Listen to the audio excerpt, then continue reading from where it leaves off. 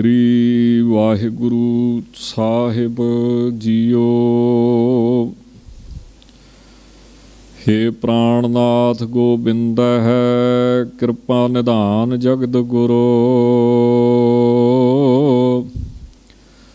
ਹੇ ਸੰਸਾਰ ਤਾਪ ਹਰਣ ਹੈ, ਕਰੁਣਾ ਮੈਂ ਸਭ ਦੁੱਖ ਹਰੋ। ਹੇ ਸਰਣ ਜੋਗ ਦਇਆਲ ਹੈ। ਦੀਨਾ ਨਾਥ ਮਇਆ ਕਰੋ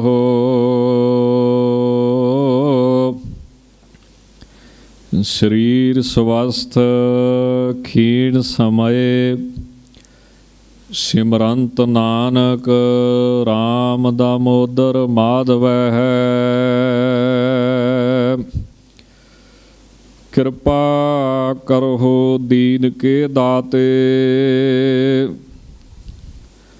ਮੇਰਾ ਗੁਣ ਅਵਗੁਣ ਨਾ ਵਿਚਾਰੋ ਕੋਈ।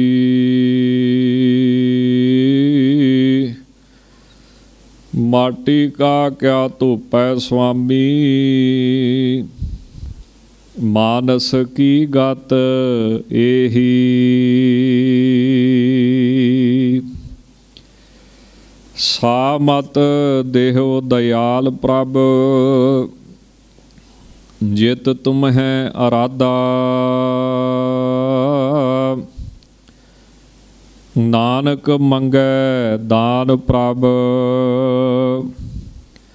ਰੇਨ ਪਗ ਸਾਦਾ ਬਾਣੀ ਗੁਰੂ ਗੁਰੂ ਹੈ ਬਾਣੀ। ਵਿੱਚ ਬਾਣੀ ਅੰਮ੍ਰਿਤ ਸਾਰੇ।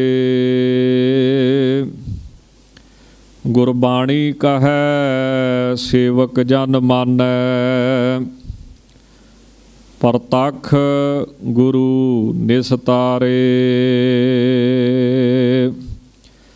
ਸਤਨਾਮ ਸ੍ਰੀ ਵਾਹਿਗੁਰੂ ਸਾਹਿਬ ਜੀਓ।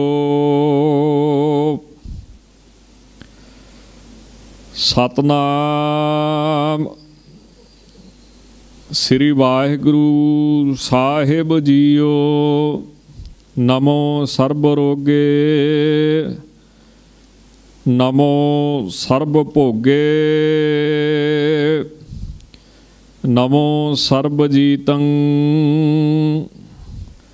ਨਮੋ ਸਰਬ ਭੀਤੰ ਨਮੋ ਸਰਬ ਰੋਗੇ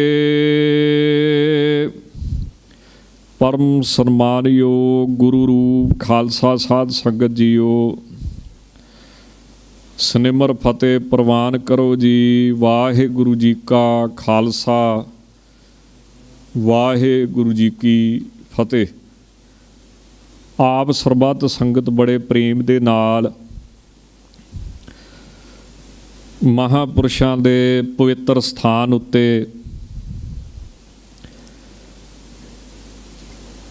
ਚਵਰ ਛਤਰ ਤਖਤ ਦੇ ਮਾਲਕ ਗੁਰਤਾ ਗੱਦੀ ਤੇ ਸੁਭਾਏਮਾਨ ਸਾਹਿਬ ਸ੍ਰੀ ਗੁਰੂ ਗ੍ਰੰਥ ਸਾਹਿਬ ਜੀ ਮਹਾਰਾਜ ਤਿਨਾਂ ਦੇ ਪਵਿੱਤਰ ਹਾਜ਼ਰੀ ਅੰਦਰ ਧੰਨ ਬਾਬਾ ਜਵਾਰ ਦਾਸ ਜੀ ਦੇ ਪਵਿੱਤਰ ਸਥਾਨ ਉੱਪਰ ਬੜੇ ਪ੍ਰੇਮ ਦੇ ਨਾਲ ਕਲਗੀ ਧਰਜੀ ਦੀ ਸ਼੍ਰੀ ਮੁਖਵਾਕ ਬਾਣੀ ਅਜ਼ੀਜ਼ ਰਚਨਾ। ਸ੍ਰੀ ਜਾਪ ਸਾਹਿਬ ਜੀ ਦੀ ਕਥਾ ਸ਼ਰਵਣ ਕਰਦੇ ਆ ਰਹੇ ਹੋ। ਤਕਰੀਬਨ 68 ਪੌੜੀਆਂ ਤੱਕ ਕਥਾ ਹੋ ਚੁੱਕੀ ਹੈ।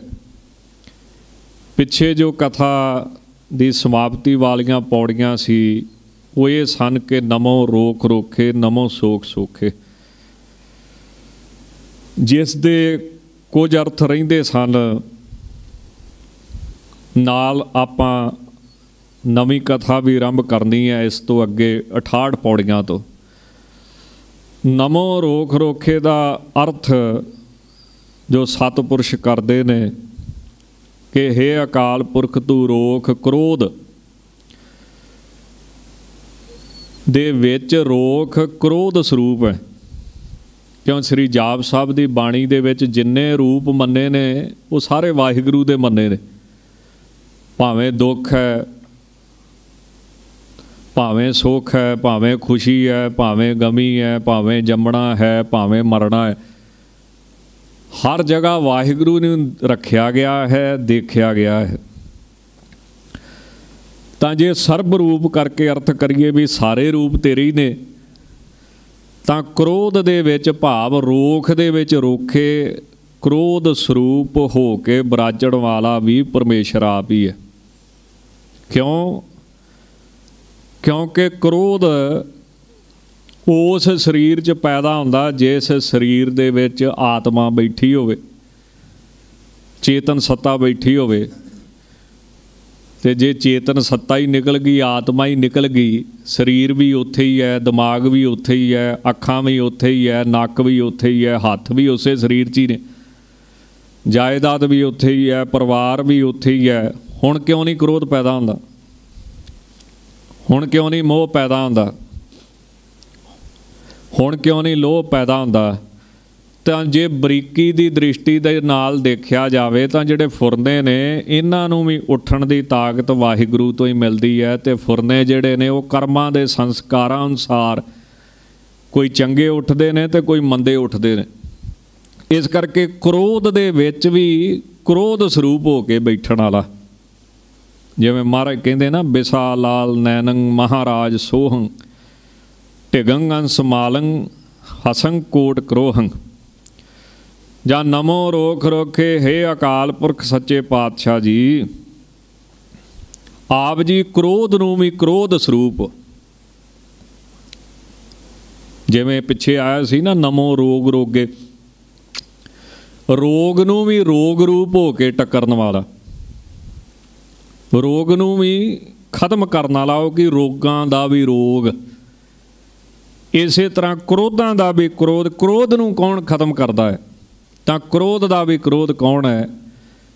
ਉਹ ਵਾਹਿਗੁਰੂ ਪਰਮੇਸ਼ਰ ਨਾਸਕ ਮੰਨਿਆ ਗਿਆ, ਕ੍ਰੋਧ ਨੂੰ ਖਤਮ ਕਰਨ ਵਾਲਾ। ਜਿਵੇਂ ਕ੍ਰੋਧ ਜੀਵਾਂ ਦੇ ਹਿਰਦੇ ਨੂੰ ਸਾੜਦਾ ਹੈ, ਨਾਸ਼ ਕਰਦਾ ਹੈ, ਇਸੇ ਪ੍ਰਕਾਰ ਪਰਮੇਸ਼ਰ ਜਿਹੜਾ ਵਾ, ਉਹ ਕ੍ਰੋਧ ਦਾ ਨਾਸ਼ ਕਰ ਦਿੰਦਾ ਇਸ ਕਰਕੇ ਕ੍ਰੋਧ ਦਾ ਵੀ ਕ੍ਰੋਧ ਆ ਬਈ। ਜਾਂ ਹੈ ਅਕਾਲ ਪੁਰਖ, ਜੇ ਰੋਖ ਦਾ ਅਰਥ ਕਰੀਏ ਵੀਰ ਰਸ, ਜੋਸ਼ ਤਾਂ ਵੀਰ ਰਸ ਜੋਸ਼ ਨੂੰ ਧਾਰ ਕੇ ਰੋਖੇ ਜਸ਼ੀਲਾ। ਉਤਸ਼ਾਹ ਸਰੂਪ ਧਾਰਨ ਕਰਨ ਵਾਲਾ ਉਹ ਕੌਣ ਹੈ? ਵਾਹਿਗੁਰੂ ਪਰਮੇਸ਼ਰ ਹੈ। ਉਤੋਂ ਵੱਡਾ ਕੋਈ ਜੋਸ਼ ਵਾਲਾ ਨਹੀਂ ਵੀਰ ਰਸ ਵਾਲਾ ਨਹੀਂ। ਐਸੇ ਵਾਹਿਗੁਰੂ ਨੂੰ ਨਮਸਕਾਰ ਹੈ। ਤੇ ਜੇ ਰੋਖ ਦਾ ਅਰਥ ਹੋਰ ਕਰੀਏ ਕਿ ਹੇ ਅਕਾਲ ਪੁਰਖ ਜੀ, ਤੂੰ ਤਾਂ ਸਾਰੇ ਰੁੱਖਾਂ ਦੇ ਵਿੱਚੋਂ ਜੇ ਰੋਖ ਦਾ ਅਰਥ ਕਰੀਏ ਰੁੱਖ, ਦਰਖਤ, ਤਾਂ ਸਾਰੇ ਰੁੱਖਾਂ ਦੇ ਵਿੱਚੋਂ ਸ੍ਰੇਸ਼ਟ ਰੁੱਖ ਕੀ ਕਲਪ ਬ੍ਰਿਸ਼ ਹੈ, ਜਿਹੜਾ ਭਾਵਨਾ ਪੂਰੀਆਂ ਕਰਨ ਵਾਲਾ ਹੈ। ਤੇ ਗੁਰਬਾਣੀ ਨੇ ਪਾਰ ਜਾਤ ਇਹੋ ਹਰ ਕੋ ਨਾਮ, ਵਾਹਿਗੁਰੂ ਦੇ ਨਾਮ ਨੂੰ ਕਲਪ ਬ੍ਰਿਕਸ਼ ਮੰਨਿਆ ਪਾਰ ਜਾਤ ਮੰਨਿਆ ਹੈ। ਉਹ ਰੁੱਖ ਜਿਹਦੇ ਥੱਲੇ ਖੜ ਕੇ ਜੋ ਮਨ ਦੀ ਕਾਮਨਾ ਕਰੀਏ, ਫੁਰਨਾ ਕਰੀਏ, ਉਹ ਵਾਹਿਗੁਰੂ ਸੱਚੇ ਪਾਤਸ਼ਾਹ ਪੂਰੀ ਕਰਦਾ ਹੈ। ਤਾਂ ਗੁਰਬਾਣੀ ਕਹਿੰਦੀ, ਉਹ ਤਾਂ ਵਾਹਿਗੁਰੂ ਦਾ ਨਾਮ ਹੈ। ਇਸ ਕਰਕੇ ਰੁੱਖਾਂ ਦਾ ਰੁੱਖ ਕੀ ਹੈ? ਕਲਪ ਬ੍ਰਿਕਸ਼ ਭਾਵ ਵਾਹਿਗੁਰੂ ਜੀ ਦਾ ਨਾਮ। ਜਿਹੜਾ ਸਾਡੀਆਂ ਸਾਰੀਆਂ ਇਛਾਵਾਂ ਜਿਹੜੀਆਂ ਨੇ, ਉਹ ਪੂਰੀਆਂ ਕਰਨ ਵਾਲਾ ਹੈ। ਐਸੇ ਵਾਹਿਗੁਰੂ ਤਾਂ ਹੀ ਨਮਸਕਾਰ ਹੈ। ਨਮੋ ਰੋਖ ਰੋਖੇ हे ਅਕਾਲ ਪੁਰਖ ਜੀ, ਨਮਸਕਾਰ ਹੈ। ਜਾਂ ਰੋਖ ਮੈਨੇ ਰੁੱਖਿਆਂ ਤੋਂ ਵੀ ਰੁੱਖਾ। ਕਿਉਂ? ਕਿਉਂਕਿ ਉਹ ਵਾਹਿਗੁਰੂ ਪਰਮੇਸ਼ਰ ਨਾ ਭੀਜੈ ਤੀਰਥ ਭਵੈ ਨੰਗ, ਨਾ ਭੀਜੈ ਦਾਤੀ ਕੀਤੇ ਪੁੰਨ, ਨਾ ਭੀਜੈ ਬਾਹਰ ਬੈਠਿਆਂ ਸੁਨ, ਨਾ ਭੀਜੈ ਭੇੜ ਮਰੇ ਭਿੜ ਸੂਰ, ਨਾ ਭੀਜੈ ਕੀਤੇ ਹੋਵੇ ਤੋੜ ਨਾ ਲੇਖਾ ਲਿਖੀਐ ਮਨ ਕੈ ਭਾਏ, ਨਾਨਕ ਭੀਜੈ ਸਾਚੈ ਨਾਏ। ਉਹ ਵਾਹਿਗੁਰੂ ਐਡਾ ਸੌਖਾ ਨਹੀਂ ਕਿਸੇ ਦੇ ਉੱਤੇ ਭੇਜਦਾ। ਉਹ ਭੇਜਦਾ ਹੈ ਜਦੋਂ ਵਿੱਚ ਮਨ ਸ਼ਾਮਲ ਹੋਵੇ, ਜਦੋਂ ਪ੍ਰੇਮ ਹੋਵੇ। ਪ੍ਰੇਮ ਦੇ ਨਾਲ ਉਹਦਾ ਕਰਮ ਕੀਤਾ ਜਾਵੇ, ਕੋਈ ਪੂਜਾ ਪਾਠ, ਸੇਵਾ ਸਿਮਰਤ ਕੀਤਾ ਜਾਵੇ, ਤੇ ਜੇ ਵਿੱਚ ਮਨ ਸ਼ਾਮਲ ਹੀ ਨਹੀਂ, ਐਵੇਂ ਪਖੰਡ, ਐਵੇਂ ਵਿਖਾਵਾ, ਐਵੇਂ ਰੋਟੀਆਂ ਕਾਰਨ ਪੂਰੇ ਹਤਾਲ ਫੇਰ ਨਹੀਂ ਭੇਜਦਾ। ਇਸ ਕਰਕੇ ਉਹ ਰੁੱਖਿਆਂ ਤੋਂ ਵੀ ਰੁੱਖਾ ਹੈ, ਕਿਉਂ? ਉਹ ਭਿੱਜਦਾ ਸਿਰਫ ਪ੍ਰੇਮ ਦੇ ਨਾਲ। ਐਸੇ ਵਾਹਿਗੁਰੂ ਤਾਂ ਹੀ ਨਮਸਕਾਰ ਹੈ। ਇਸੇ ਤਰ੍ਹਾਂ ਨਮੋ ਸੋਖ ਸੋਖੇ। हे ਅਕਾਲ ਪੁਰਖ ਜੀ, ਸੋਖ ਜਿਹੜੇ ਸੋਖਣੇ ਵਾਲੇ ਆ, ਉਹ ਕੌਣ? ਪਵਨ, ਅੱਗ, ਆਦਿਕ। ਤੂੰ ਉਹਨਾਂ ਨੂੰ ਵੀ ਸੋਖੇ ਸੁਕਾਉਣ ਵਾਲਾ ਹੈ। ਇਹ ਤਤ ਵੀ ਤੇਰੇ ਭੈ ਚ ਚੱਲਦੇ ਨੇ। ਭਾਵ ਬਲਸ਼ਾਲੀ ਮਨੁੱਖ ਹੋ ਗਏ। ਦੇਵ ਹੋ ਗਏ, ਦੈਂਤ ਹੋ ਗਏ ਜਾਂ ਪਵਨ ਆਦਿਕ ਤਤ ਹੋ ਗਏ, ਜੋ ਆਪਦੇ ਤੋਂ ਮਾੜੇ ਨੂੰ ਜਾਂ ਦੂਸਰੇ ਨੂੰ ਭੈ ਭੀਤ ਕਰਦੇ ਆ, ਸਕਾਉਂਦੇ ਆ ਟਰਾਉਂਦੇ ਆ, ਉਹਨਾਂ ਨੂੰ ਵੀ ਭੈ ਪੀਤ ਕਰਨ ਵਾਲਾ ਕੌਣ ਹੈ? ਵਾਹਿਗੁਰੂ, ਭੈ ਵਿੱਚ ਪਵਨ, ਵਹਿ ਸਦਵਾਓ, ਭੈ ਵਿੱਚ ਚੱਲੇ ਲੱਖ ਦਰਿਆਓ, ਇਸ ਕਰਕੇ ਮਹਾਰਾਜ ਕਹਿੰਦੇ, ਨਮਸਕਾਰ ਹੈ ਜਿਹੜੇ ਸੋਖ ਮੈਨੇ ਸਕਾਉਣ ਵਾਲੇ ਆ, ਅਰਥਾਤ ਭਾਵ ਅਰਥ ਭੈ ਭੀਤ ਕਰਨ ਵਾਲੇ, ਉਹਨਾਂ ਨੂੰ ਵੀ ਸਕਾਉਣ ਵਾਲਾ ਹੈ, ਡਰਾਉਣ ਵਾਲਾ ਹੈ। ਐਸੇ ਵਾਹਿਗੁਰੂ ਜੀ ਦੇ ਤਾਂ ਹੀ ਮਹਾਰਾਜ ਕਹਿੰਦੇ, ਨਮਸਕਾਰ ਹੈ। ਜਾਂ ਨਮੋ ਸੋਖ ਸੋਕੇ, ਸੋਖ ਦਾ ਅਰਥ ਕਰ ਦਈਏ, ਸੋਕਾ। ਸੋਕਾ ਪੈ ਜਾਂਦਾ ਨਾ। ਉਹਨੂੰ ਸੋਖੇ, ਪਹਿਲੇ ਸੋਖ ਦਾ ਅਰਥ ਕਰਨਾ ਸੋਕਾ। ਉਹਨੂੰ ਸੋਖੇ, ਸੋਕੇ ਨੂੰ ਵੀ ਸੁਕਾਉਣ ਵਾਲਾ। ਇਹ ਅਕਾਲ ਪੁਰਖ ਤੂੰ ਤਾਂ ਸੋਕੇ ਨੂੰ ਵੀ ਸੁਕਾਉਣ ਵਾਲਾ ਹੈ। ਜਿਵੇਂ ਬਾਣੀ ਕਹਿੰਦੀ ਹੈ ਨਾ, ਸੂਕੇ ਹਰੇ ਕੀਏ ਖਿੰਨ ਮਾਹੇ। ਸੁੱਕਿਆਂ ਨੂੰ ਵੀ ਆਪ ਜੀ ਹਰੇ ਕਰਨ ਵਾਲੇ ਹੋ। ਤਾਂ ਐਸੇ ਵਾਹਿਗੁਰੂ ਜੀ ਨੂੰ ਨਮਸਕਾਰ ਹੈ। ਜਾਂ हे ਅਕਾਲ ਪੁਰਖ ਸੱਚੇ ਪਾਤਸ਼ਾਹ ਜੀ, ਆਪ ਜੀ ਐਸੇ ਹੋ ਕਿ ਸੋਖ ਦਾ ਅਰਥ ਕਰ ਦੇਣਾ ਸ਼ੋਕ। ਹਰਕ ਸੋਗ ਹੁੰਦਾ ਨਾ ਖੁਸ਼ੀ ਗਮੀ, ਸ਼ੋਕ ਗਮੀ। ਤਾਂ ਪਹਿਲੇ ਸੋਖ ਦਾ ਅਰਥ ਕਰ ਦਿੱਤਾ ਸ਼ੋਕ ਗਮੀ। ਉਹਨੂੰ ਸੋਖੇ, ਉਹਨੂੰ ਖਤਮ ਕਰਨ ਵਾਲੇ ਹੋ। ਦੁੱਖ ਨੂੰ ਮੇਟਣ ਵਾਲੇ ਹੋ, ਕਿਰਪਾ ਕਰਨ ਵਾਲੇ ਹੋ, ਚਿੰਤਾ ਨੂੰ ਖਤਮ ਕਰਨ ਵਾਲੇ ਹੋ, ਗਮੀ ਨੂੰ ਮਟਾਉਣ ਵਾਲੇ ਹੋ। ਐਸੇ ਵਾਹਿਗੁਰੂ ਜੀ ਦੇ ਤਾਂ ਹੀ ਮਹਾਰਾਜ ਕਹਿੰਦੇ ਨਮਸਕਾਰ ਹੈ। ਇਥੋਂ ਤੱਕ ਪਿਛਲੇ ਦੀਵਾਨਾਂ ਦੇ ਵਿੱਚ ਕਥਾ ਹੋ ਚੁੱਕੀ ਸੀ। ਪ੍ਰਸੰਗ ਨੂੰ ਜੋੜਨ ਵਾਸਤੇ ਇਹ ਕੁਝ ਵਿਚਾਰ ਸੰਖੇਪ ਚ ਦੁਬਾਰਾ ਕਰਨ ਦਾ ਯਤਨ ਕੀਤਾ ਹੈ। ਹੁਣ ਇਸ ਤੋਂ ਅੱਗੇ ਜਿਵੇਂ ਦੁਬਾਰਾ ਕਥਾ ਆਰੰਭ ਹੁੰਦੀ ਹੈ, ਉਹ ਇੱਥੋਂ ਆਰੰਭ ਹੁੰਦੀ ਹੈ, ਆਓ ਬੜੇ ਪ੍ਰੇਮ ਦੇ ਨਾਲ ਸੁਣਨ ਦਾ ਯਤਨ ਕਰੀਏ। ਨਮੋ ਸਰਬ ਰੋਗੇ ਨਮਸਕਾਰ ਹੈ ਅਕਾਲ ਪੁਰਖ ਵਾਹਿਗੁਰੂ ਜੀ ਨੂੰ, ਜਿਹੜਾ ਸਰਬ ਰੋਗ ਰੂਪ ਹੈ। ਜਿੰਨੇ ਰੋਗ ਨੇ, ਉਹਨਾਂ ਵਿੱਚ ਵੀ ਉਹੀ ਬੈਠਾ ਹੈ। ਤਾਂ ਆਪ ਜੀ ਹੈਰਾਨ ਹੋਵੋਗੇ, ਹੈ, ਬਿਮਾਰੀ 'ਚ ਵੀ ਉਹੀ ਬੈਠਾ ਹੈ। ਤਾਂ ਬਿਮਾਰੀ ਵੀ ਉਹਦੇ ਹੁਕਮ ਤੋਂ ਬਿਨਾ ਨਹੀਂ ਲੱਗਦੀ ਬਈ। ਦੁੱਖ ਵੀ ਉਹਦੇ ਹੁਕਮ ਤੋਂ ਬਿਨਾ ਨਹੀਂ ਆਉਂਦਾ ਤੇ ਸੁੱਖ ਵੀ ਉਹਦੇ ਹੁਕਮ ਤੋਂ ਬਿਨਾ ਨਹੀਂ ਆਉਂਦਾ। ਇਸੇ ਕਰਕੇ ਕਲਗੀ ਧਰਜੀ ਦੀ ਬਾਣੀ ਸਮਝਣੀ ਕਠਨ ਮੰਨੀ ਜਾਂਦੀ ਹੈ। ਸਰਬ ਰੂਪ ਹੋਣ ਕਰਕੇ ਵੀ ਸਭ ਕੁਝ ਉਹ ਹੀ। ਹੈ ਵੱਡੇ ਵੱਡੇ ਬੰਦੇ ਸੱਜਣ ਕਈ ਵਾਰੀ ਫਿਰ ਭੁਲੇਖਾ ਖਾ ਜਾਂਦੇ ਨੇ ਤੇ ਕਈ ਵਾਰੀ ਜਾਣ ਬੁੱਝ ਕੇ ਤਰਕ ਕਰਨ ਲੱਗ ਪੈਂਦੇ ਨੇ। ਹਾਂ, ਬਿਮਾਰੀ ਵੀ ਉਹਦੇ ਹੁਕਮ 'ਚ ਹੀ ਹੈ। ਕਿਉਂ? ਗੁਰਬਾਣੀ ਦੇ ਅਨੁਸਾਰ ਹਰ ਬੰਦਾ ਰੋਗੀ ਆ। ਆਪਾਂ ਪੜ੍ਹਦੇ ਆ ਨਾ, ਜੋ ਜੋ ਦੀਸੈ ਸੋ ਸੋ, ਰੋਗੀ ਰੋਗ ਰਹਿਤ ਮੇਰਾ ਸਤਗੁਰ ਜੋਗੀ। ਜੋ ਤੁਹਾਨੂੰ ਦਿਖਦਾ ਵਾ ਸਭ ਰੋਗੀ ਆ। ਹੁਣ ਹਰ ਬੰਦੇ 'ਚ ਕਾਮ ਕ੍ਰੋਧ ਰੂਪੀ ਰੋਗ ਬੈਠਾ ਹੈ, ਤਾਂ ਇਹ ਕਾਮ ਕ੍ਰੋਧ ਰੋਗ ਹਰੇਕ ਨੂੰ ਚਿੰਬੜਿਆ ਵਾ ਰੋਗ, ਦੁੱਖ, ਸੁੱਖ ਆਦਿਕ ਤਿੰਨ ਤਰ੍ਹਾਂ ਦੇ ਮੰਨੇ ਨੇ। ਤਾਪ ਆਦਿ, ਵਿਆਧੀ, ਉਪਾਧੀ ਕੋਈ ਨਾ ਕੋਈ ਹਰੇਕ ਨੂੰ ਚਿੰਬੜਿਆ। ਇਸ ਕਰਕੇ ਜਿਹੜਾ ਵੀ ਦਿਖਦਾ ਉਹ ਹੀ ਰੋਗੀ ਹੈ। ਕਿਹੜਾ ਬੰਦਾ ਜਿਹਦੇ 'ਚ ਵਕਾਰ ਨਹੀਂ ਹੈ, ਕਿਹੜਾ ਬੰਦਾ ਹੈ ਜਿਹਦੇ 'ਚ ਹਉਮੈ ਨਹੀਂ ਹੈ, ਤਾਂ ਸਰਬ ਰੋਗ ਰੂਪ ਵੀ ਪਰਮੇਸ਼ਰ ਹੀ ਹੈ। ਕਿਉਂਕਿ ਗੁਰਬਾਣੀ ਅਨੁਸਾਰ ਕਹੂੰ ਜੋਗ ਭੋਗੰ, ਕਹੂੰ ਰੋਗ ਰਾਗੰ, ਕਹੂੰ ਰੋਗ ਹਰਤਾ, ਕਹੂੰ ਭੋਗ ਤਿਆਗੰ। ਕਿਉਂਕਿ ਗੁਰਬਾਣੀ ਅਨੁਸਾਰ ਜਿਹੜਾ ਰੋਗ ਹੈ, ਦੁੱਖ ਹੈ, ਇਹ ਵਾਹਿਗੁਰੂ ਜੀ ਦਾ ਨਾਮ ਜਪਾਉਣ ਵਾਸਤੇ ਤੇ ਸੰਸਾਰ ਦੀ ਸੁੰਦਰਤਾ ਦਾ ਭਲੇਖਾ ਤੋੜਨ ਵਾਸਤੇ ਆਉਂਦਾ ਹੈ। ਜਿਹੜਾ ਸੰਸਾਰ ਸਾਨੂੰ ਬਹੁਤ ਚੰਗਾ ਲੱਗਦਾ ਹੈ, ਉਹ ਰੋਗ ਦੇ ਗਰਸਿਆਂ ਫਿਰ ਸਾਡਾ ਉਹਦੇ ਨਾਲ ਉਹ ਮਨ ਦਾ ਵਿਯੋਗ ਹੋਣਾ ਸ਼ੁਰੂ ਹੁੰਦਾ, ਅਸੀਂ ਵਿਰਾਗੀ ਹੋਣੇ ਸ਼ੁਰੂ ਹੁੰਨੇ ਆ ਵੀ ਲੋਕਾਂ ਨੂੰ ਤੇ ਆਪੋ ਆਪਣੀ ਪਈ ਆ ਤੂੰ ਮੰਜੇ ਤੇ ਪਿਆ, ਤੈਨੂੰ, ਤੇਰੇ ਨਾਲ ਕਿਸੇ ਨੂੰ ਕੋਈ ਮਤਲਬ ਨਹੀਂ। ਤਾਂ ਰੋਗ ਜਿਹੜਾ ਹੈ, ਉਹ ਸੰਸਾਰ ਦੀ ਸੁੰਦਰਤਾ, ਰਾਸ, ਆਨੰਦ ਦਾ ਭਲੇਖਾ ਕੱਢਦਾ ਹੈ। ਪ੍ਰੀਤਮ ਜਾਨ ਲਿਓ ਮਨ ਮਾਹੀ, ਆਪਣੇ ਸੁਖ ਸਿਓ ਹੀ ਸਭ ਜਗ ਫਾਂਦਿਓ, ਕੋ ਕਾਹੂ ਕੋ ਨਾਹੀ। ਤਾਂ ਗੁਰਬਾਣੀ ਅਨੁਸਾਰ ਦੁੱਖ दारू ਸੁਖ ਰੋਗ ਪਿਆ। ਦੁਨੀਆ ਦੇ ਜਿੰਨੇ ਗ੍ਰੰਥ ਨੇ ਉਹਨਾਂ 'ਚ ਕੀ ਲਿਖਿਆ ਵਾ? ਕਿ ਸੁਖ ਚੰਗਾ ਹੈ ਤੇ ਦੁੱਖ ਮਾੜਾ ਹੈ। ਇੱਕੋ ਇੱਕ ਗੁਰੂ ਗ੍ਰੰਥ ਸਾਹਿਬ ਦੀ ਬਾਣੀ ਇਦਾਂ ਦੀ ਹੈ ਜਿਹਦੇ 'ਚ ਲਿਖਿਆ, ਨਹੀਂ, ਦੁੱਖ ਦਵਾਈ ਹੈ, ਸੁਖ ਬਿਮਾਰੀ ਹੈ।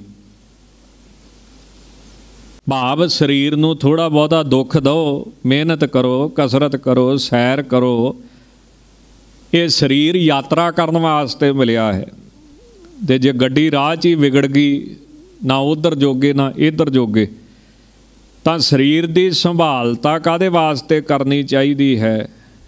ਇਸ ਕਰਕੇ ਕਰਨੀ ਚਾਹੀਦੀ ਹੈ ਕਿ ਇਹਦੇ ਨਾਲ ਇਹ ਮਨੁੱਖਾ ਜਨਮ ਰੂਪ ਯਾਤਰਾ ਕਰਨੀ ਹੈ। ਤਾਂ ਮਹਾਰਾਜ ਜੀ ਕੀ ਕਹਿੰਦੇ ਨੇ? ਇੱਕੋ ਇੱਕ ਗੁਰੂ ਗ੍ਰੰਥ ਸਾਹਿਬ ਦੀ ਬਾਣੀ ਇਦਾਂ ਦੀ ਹੈ ਜਿਹੜੀ ਕਹਿੰਦੀ ਬਈ ਦੁੱਖ ਤਾਂ ਦਵਾਈ ਹੈ ਤੇ ਸੁੱਖ ਬਿਮਾਰੀ ਹੈ। ਜਾਂ ਫਿਰ ਮਹਾਰਾਜ ਜੀ ਦੱਸਦੇ ਨੇ ਵੀ ਨਾਮ ਜਿਹੜਾ ਹੈ, ਉਹ ਦੁੱਖ ਕਰਕੇ ਵਿਰਾਗ ਪੈਦਾ ਹੁੰਦਾ, ਉਹਦੇ ਕਰਕੇ ਜਪਿਆ ਜਾਂਦਾ ਹੈ। ਜਿੰਨਾ ਚਿਰ ਵਿਰਾਗ ਪੈਦਾ ਨਹੀਂ ਹੁੰਦਾ, ਉਹਨਾਂ ਚਿਰ ਵਾਹਿਗੁਰੂ ਦਾ ਨਾਮ ਨਹੀਂ ਕੋਈ ਜਪ ਸਕਦਾ ਹੈ। ਇਸ ਕਰਕੇ ਸੱਚੇ ਪਾਤਸ਼ਾਹ ਕੀ ਕਹਿੰਦੇ, ਦੀਵਾ ਮੇਰਾ ਏਕ ਨਾਮ, ਦੁੱਖ ਵਿੱਚ ਪਾਇਆ ਤੇਲ। ਉਹਨ ਚਾਨਣ, ਉਹ ਸੋਖਿਆ ਚੁੱਕਿਆ ਜਮ ਸਿਓ ਮੇਲ। ਇਸ ਕਰਕੇ ਦੁੱਖ ਰੋਗ ਰੂਪ ਵੀ ਪਰਮੇਸ਼ਰੀ ਹੈ। ਉਹਨੂੰ ਵੀ ਨਮਸਕਾਰ ਹੈ। ਜਾਂ ਫਿਰ ਨਮੋ ਸਰਬ ਭੋਗੇ।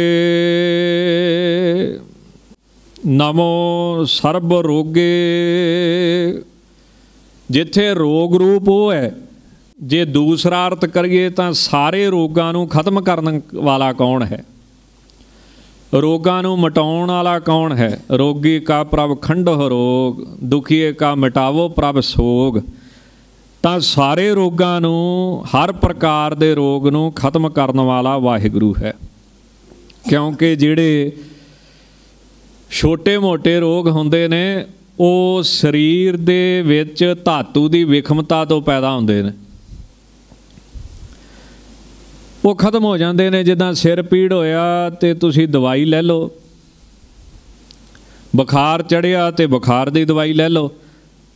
ਪਰ ਕਈ ਰੋਗ ਇਦਾਂ ਦੇ ਹੁੰਦੇ ਨੇ ਜਿਹੜੇ ਪਰਾਲਬਧ ਅਨਸਾਰ ਹੁੰਦੇ ਨੇ। ਉਹਨਾਂ ਉੱਤੇ ਫਿਰ ਦਵਾਈ ਅਸਰ ਨਹੀਂ ਕਰਦੀ, ਉਹ ਕੋਈ ਬਹੁਤਾ ਮਾੜਾ ਕਰਮ ਜਿਹੜਾ ਅੱਗੇ ਆ ਜਾਂਦਾ, ਉਹ ਛੇਤੀ ਕੀਤਿਆਂ ਫਿਰ ਕੱਟੇ ਨਹੀਂ ਜਾ ਸਕਦੇ ਹਨ। ਤਾਂ ਇਹੋ ਜਿਹੇ ਜਿਹੜੇ ਪਰਾਲਬਧ ਰੂਪੀ ਰੋਗ ਨੇ ਪਰਾਲਬਧ ਤੋਂ ਪੈਦਾ ਹੋਣ ਵਾਲੇ ਰੋਗ ਨੇ ਜਿੱਤੇ ਕੋਈ ਦਵਾਈ ਅਸਰ ਨਹੀਂ ਕਰਦੀ, ਕਿਸੇ ਉਹ ਤਰੀਕੇ ਦੇ ਨਾਲ ਠੀਕ ਨਹੀਂ ਹੁੰਦੇ।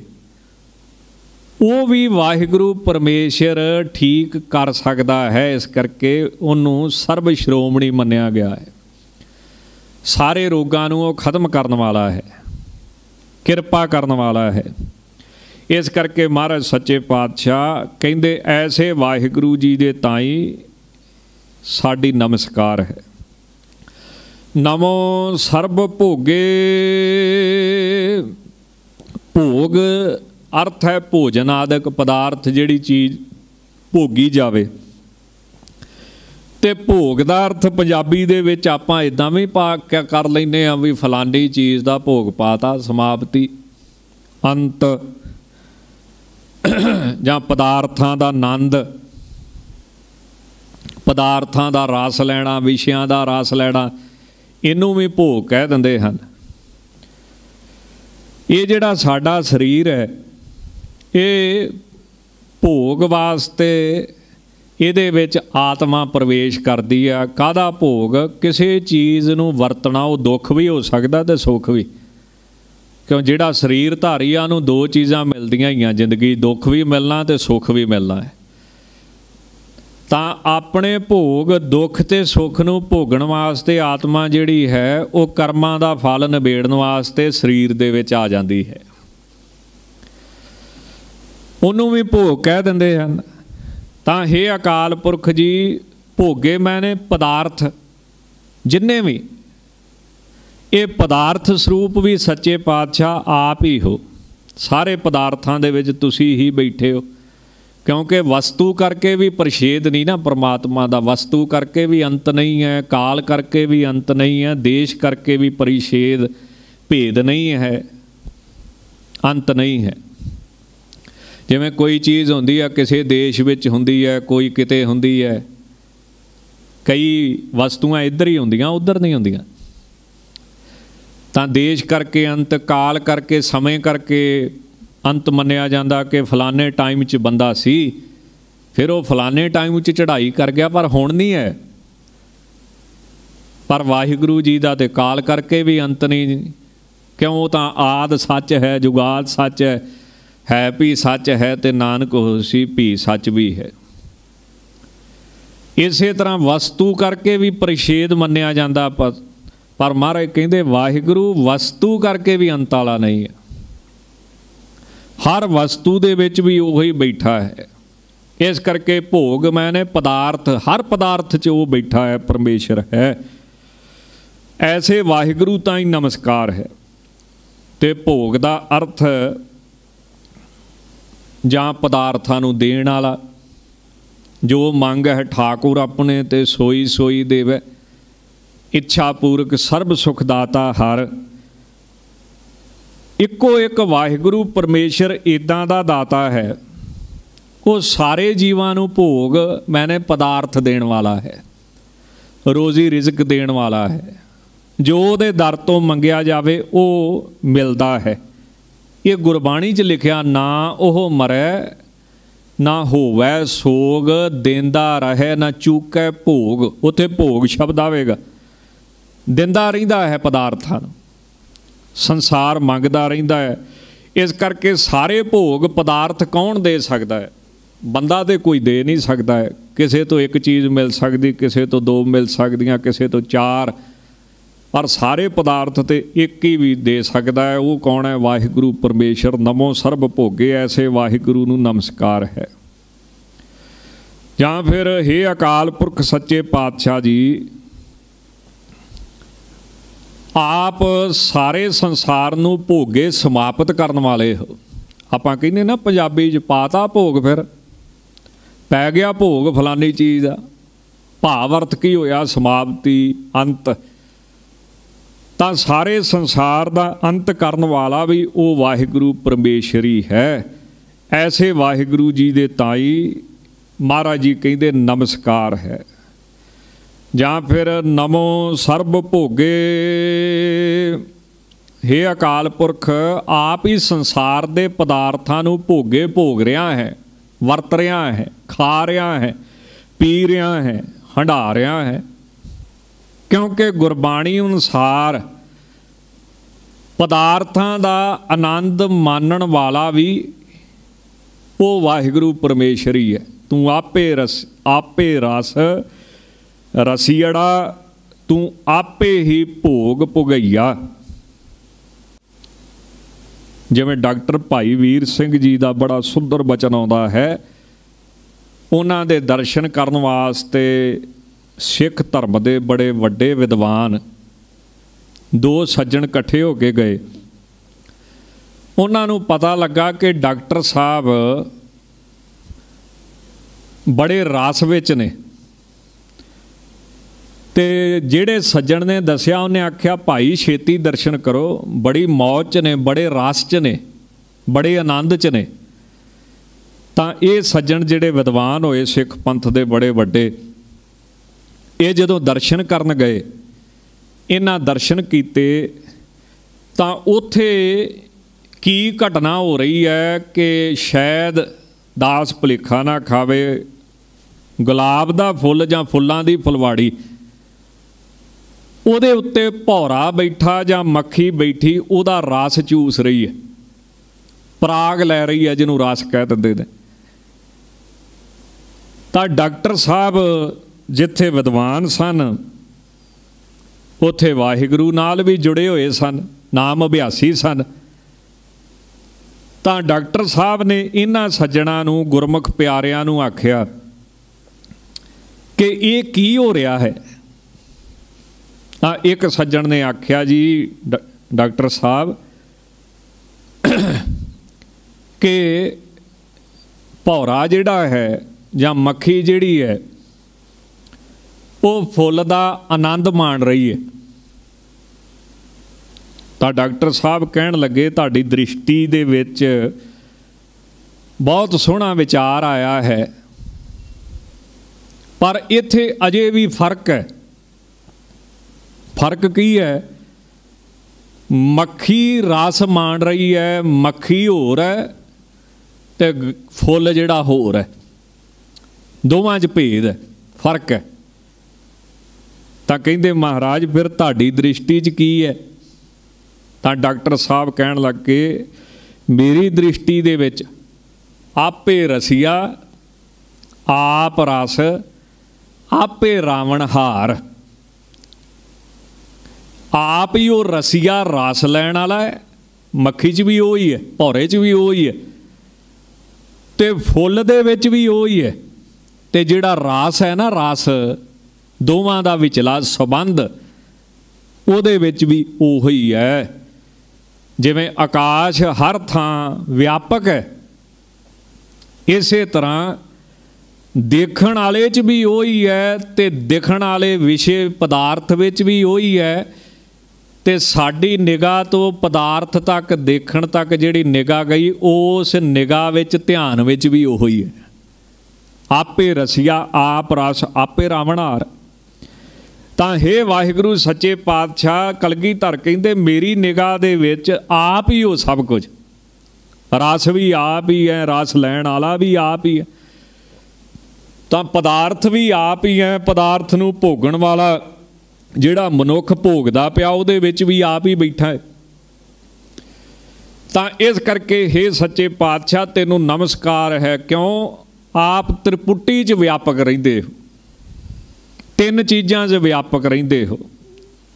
ਦੇਖਣ ਵਾਲੇ ਅੱਖ 'ਚ ਵੀ ਬੈਠੇ ਹੋ, ਦੇਖਣ ਵਾਲੇ ਪਦਾਰਥ ਦ੍ਰਿਸ਼ ਵਿੱਚ ਵੀ ਬੈਠੇ ਹੋ ਤੇ ਦੋਵਾਂ ਦਾ ਜਿਹੜਾ ਸਬੰਧ ਹੈ, ਉਹਦੇ ਵਿੱਚ ਵੀ ਬੈਠੇ ਹੋ।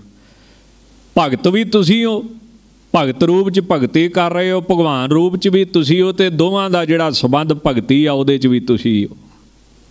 ਇਸੇ ਤਰ੍ਹਾਂ ਗਿਆਤਾ ਵੀ ਤੁਸੀਂ ਹੋ। ਕਿਉਂ? ਭੇਦ ਗਿਆਨ ਦੇ ਵਿੱਚ ਰਸ ਨਹੀਂ ਪੂਰਾ। ਜਿਹੜਾ ਭੇਦ ਗਿਆਨ ਹੁੰਦਾ ਨਾ, ਇਹਦੇ ਵਿੱਚ ਦੋ ਚੀਜ਼ਾਂ ਬਣੀਆਂ ਰਹਿੰਦੀਆਂ। ਜਿਵੇਂ ਕੋਈ ਮਾਲਾ ਫੇਰਨ ਵਾਲਾ। ਇੱਕ ਹੋ ਗਈ ਮਾਲਾ ਤੇ ਇੱਕ ਹੋ ਗਿਆ ਫੇਰਨ ਵਾਲਾ ਹੱਥ। ਹੱਥ ਮੈਨੇ ਮੈਂ, ਜਿੰਨੇ ਫੜੀ ਹੋਈ ਹੈ ਹੁਣ ਦੋ ਆ। ਇਹ ਕੀ ਆ? ਗਿਆਨ। ਪਰ ਇਹ ਭੇਦ ਗਿਆਨ ਆ, ਇਹਦੇ ਚ ਦੂਈ ਦਿਖਦੀ ਹੈ ਦਵੈਤ ਦਿਖਦੀ ਹੈ ਤੇ ਜਿੰਨਾ ਚਿਰ ਸੱਜਣਾ ਦੂਈ ਦਿਖਦੀ ਹੈ ਦਵੈਤ ਦਿਖਦੀ ਉਹਨਾਂ ਚਿਰ ਪੂਰਾ ਰਸ ਨਹੀਂ। ਇਸੇ ਤਰ੍ਹਾਂ ਦੇਖਣ ਵਾਲਾ, ਉਹ ਕੌਣ ਹੋ ਗਿਆ? ਜਿਹੜਾ ਮਨੁੱਖ ਅੱਖਾਂ ਰਾਹੀਂ ਦੇਖਦਾ ਹੈ ਤੇ ਦਿਖਣ ਵਾਲਾ ਕੀ ਹੋ ਗਿਆ? ਦ੍ਰਿਸ਼। ਹੁਣ ਦੇਖਣ ਵਾਲਾ ਹੋਰ ਹੈ ਦਿਖਣ ਵਾਲੀ ਚੀਜ਼ ਹੋਰ ਹੈ ਦੋਵਾਂ 'ਚ ਭੇਦ ਹੈ ਇਹਦੇ 'ਚ ਰਸ ਨਹੀਂ। ਇਹ 'ਚ ਦੂਈ ਬਣੀ ਆ ਦੋ ਚੀਜ਼ਾਂ ਬਣੀਆਂ, ਜਿੱਥੇ ਦੋ ਚੀਜ਼ਾਂ ਬਣੀਆਂ ਮਹਾਰਾਜ ਕਹਿੰਦੇ ਉੱਥੇ ਹੀ ਸੰਸਾਰ ਹੈ। ਤੇ ਜਿੱਥੇ ਦੂਈ ਖਤਮ ਹੋ ਗਈ, ਉੱਥੇ ਹੀ ਨਿਰੰਕਾਰ ਇਸ ਕਰਕੇ ਗੁਰਬਾਣੀ ਕਹਿੰਦੀ ਨਾ, ਜੋ ਇਸ ਮਾਰੇ ਸੋਈ ਸੂਰਾ। ਜੋ ਇਸ ਮਾਰੇ ਸੋਈ ਪੂਰਾ। ਗੁਰਬਾਣੀ ਅਨੁਸਾਰ ਸੂਰਮਾ ਕੌਣ ਹੈ ਜਿਹੜਾ ਦੂਈ ਨੂੰ ਮਾਰੇ, ਦਵੈਤ ਨੂੰ ਮਾਰੇ, ਭੇਦ ਗਿਆਨ ਨੂੰ ਖਤਮ ਕਰੇ। ਗੁਰਬਾਣੀ ਅਨੁਸਾਰ ਪੂਰਾ ਸੰਤ ਕੌਣ ਹੈ? ਜਿਹਦੀ ਨਿਗਾਹ 'ਚ ਦੋ ਨਹੀਂ ਰਹਿ ਗਏ ਹੁਣ, ਇੱਕ ਹੀ ਦਿਖਦਾ ਹੈ, ਇੱਕੋ ਹੈ ਭਾਈ, ਇੱਕੋ ਹੈ ਸਾਹਿਬ ਮੇਰਾ, ਇੱਕੋ ਹੈ। ਤਾਂ ਮਹਾਰਾਜ ਕੀ ਕਹਿੰਦੇ ਨੇ? ਦੁਈ ਭੇਦ ਗਿਆਨ ਨੂੰ ਖਤਮ ਕਰਨਾ, ਇਸ ਕਰਕੇ ਗੁਰਬਾਣੀ 'ਚ ਬੜੇ ਸ਼ਬਦ ਆਉਣਗੇ, ਦਵੈਤ, ਦੁਬਦਾ। ਉਹ ਦੁਬਦਾ ਦਾ ਅਰਥ ਵੀ ਇਹੀ ਆ ਵੀ ਜਿੱਥੇ ਦੋ ਚੀਜ਼ਾਂ ਬਣੀਆਂ ਹੋਈਆਂ ਵਾ, ਸੰਸਾ ਬਣਿਆ ਹੋਇਆ ਹੈ। ਤਾਂ ਜਿੱਥੇ ਦੂਈ ਬੈਠੀ ਹੈ, ਨਾ ਤੇ ਉੱਥੇ ਬ੍ਰਹਮ ਗਿਆਨ ਹੀ ਹੈ ਨਾ ਉੱਥੇ ਪਰਮੇਸ਼ਰ ਦੀ ਕੋਈ ਬਹੁਤੀ ਕਿਰਪਾ ਰਾਸ ਨਹੀਂ ਮੰਨਿਆ ਜਾਂਦਾ ਹੈ। ਤਾਂ ਜਦੋਂ ਇਹ ਦੂਈ ਖਤਮ ਹੁੰਦੀ ਹੈ, ਜੋ ਇਸ ਮਾਰੇ ਸੋਈ ਸੂਰਾ, ਜੋ ਇਸ ਮਾਰੇ ਸੋਈ ਪੂਰਾ, ਇਸ ਦੂਈ ਨੂੰ ਮਾਰੋ, ਦਵੈਤ ਨੂੰ ਮਾਰੋ। ਇੱਕ ਹੀ ਹੋ ਜੇ, ਜਿਵੇਂ ਇੱਕ ਹੋ ਗਈ ਮੱਖੀ ਤੇ ਇੱਕ ਹੋ ਗਿਆ ਗੁੜ। ਹੁਣ ਗੁੜ ਦਾ ਵੱਖਰਾ ਗਿਆਨ ਤੇ ਮੱਖੀ ਦਾ ਆਪਾਂ ਨੂੰ ਵੱਖਰਾ ਗਿਆਨ। ਮੰਨ ਲਓ ਆਪਾਂ ਵੇਖਦੇ ਪਏ ਆ ਵੀ ਮੱਖੀ ਗੁੜ ਦਾ ਰਸ ਲੈ ਰਹੀ ਹੈ।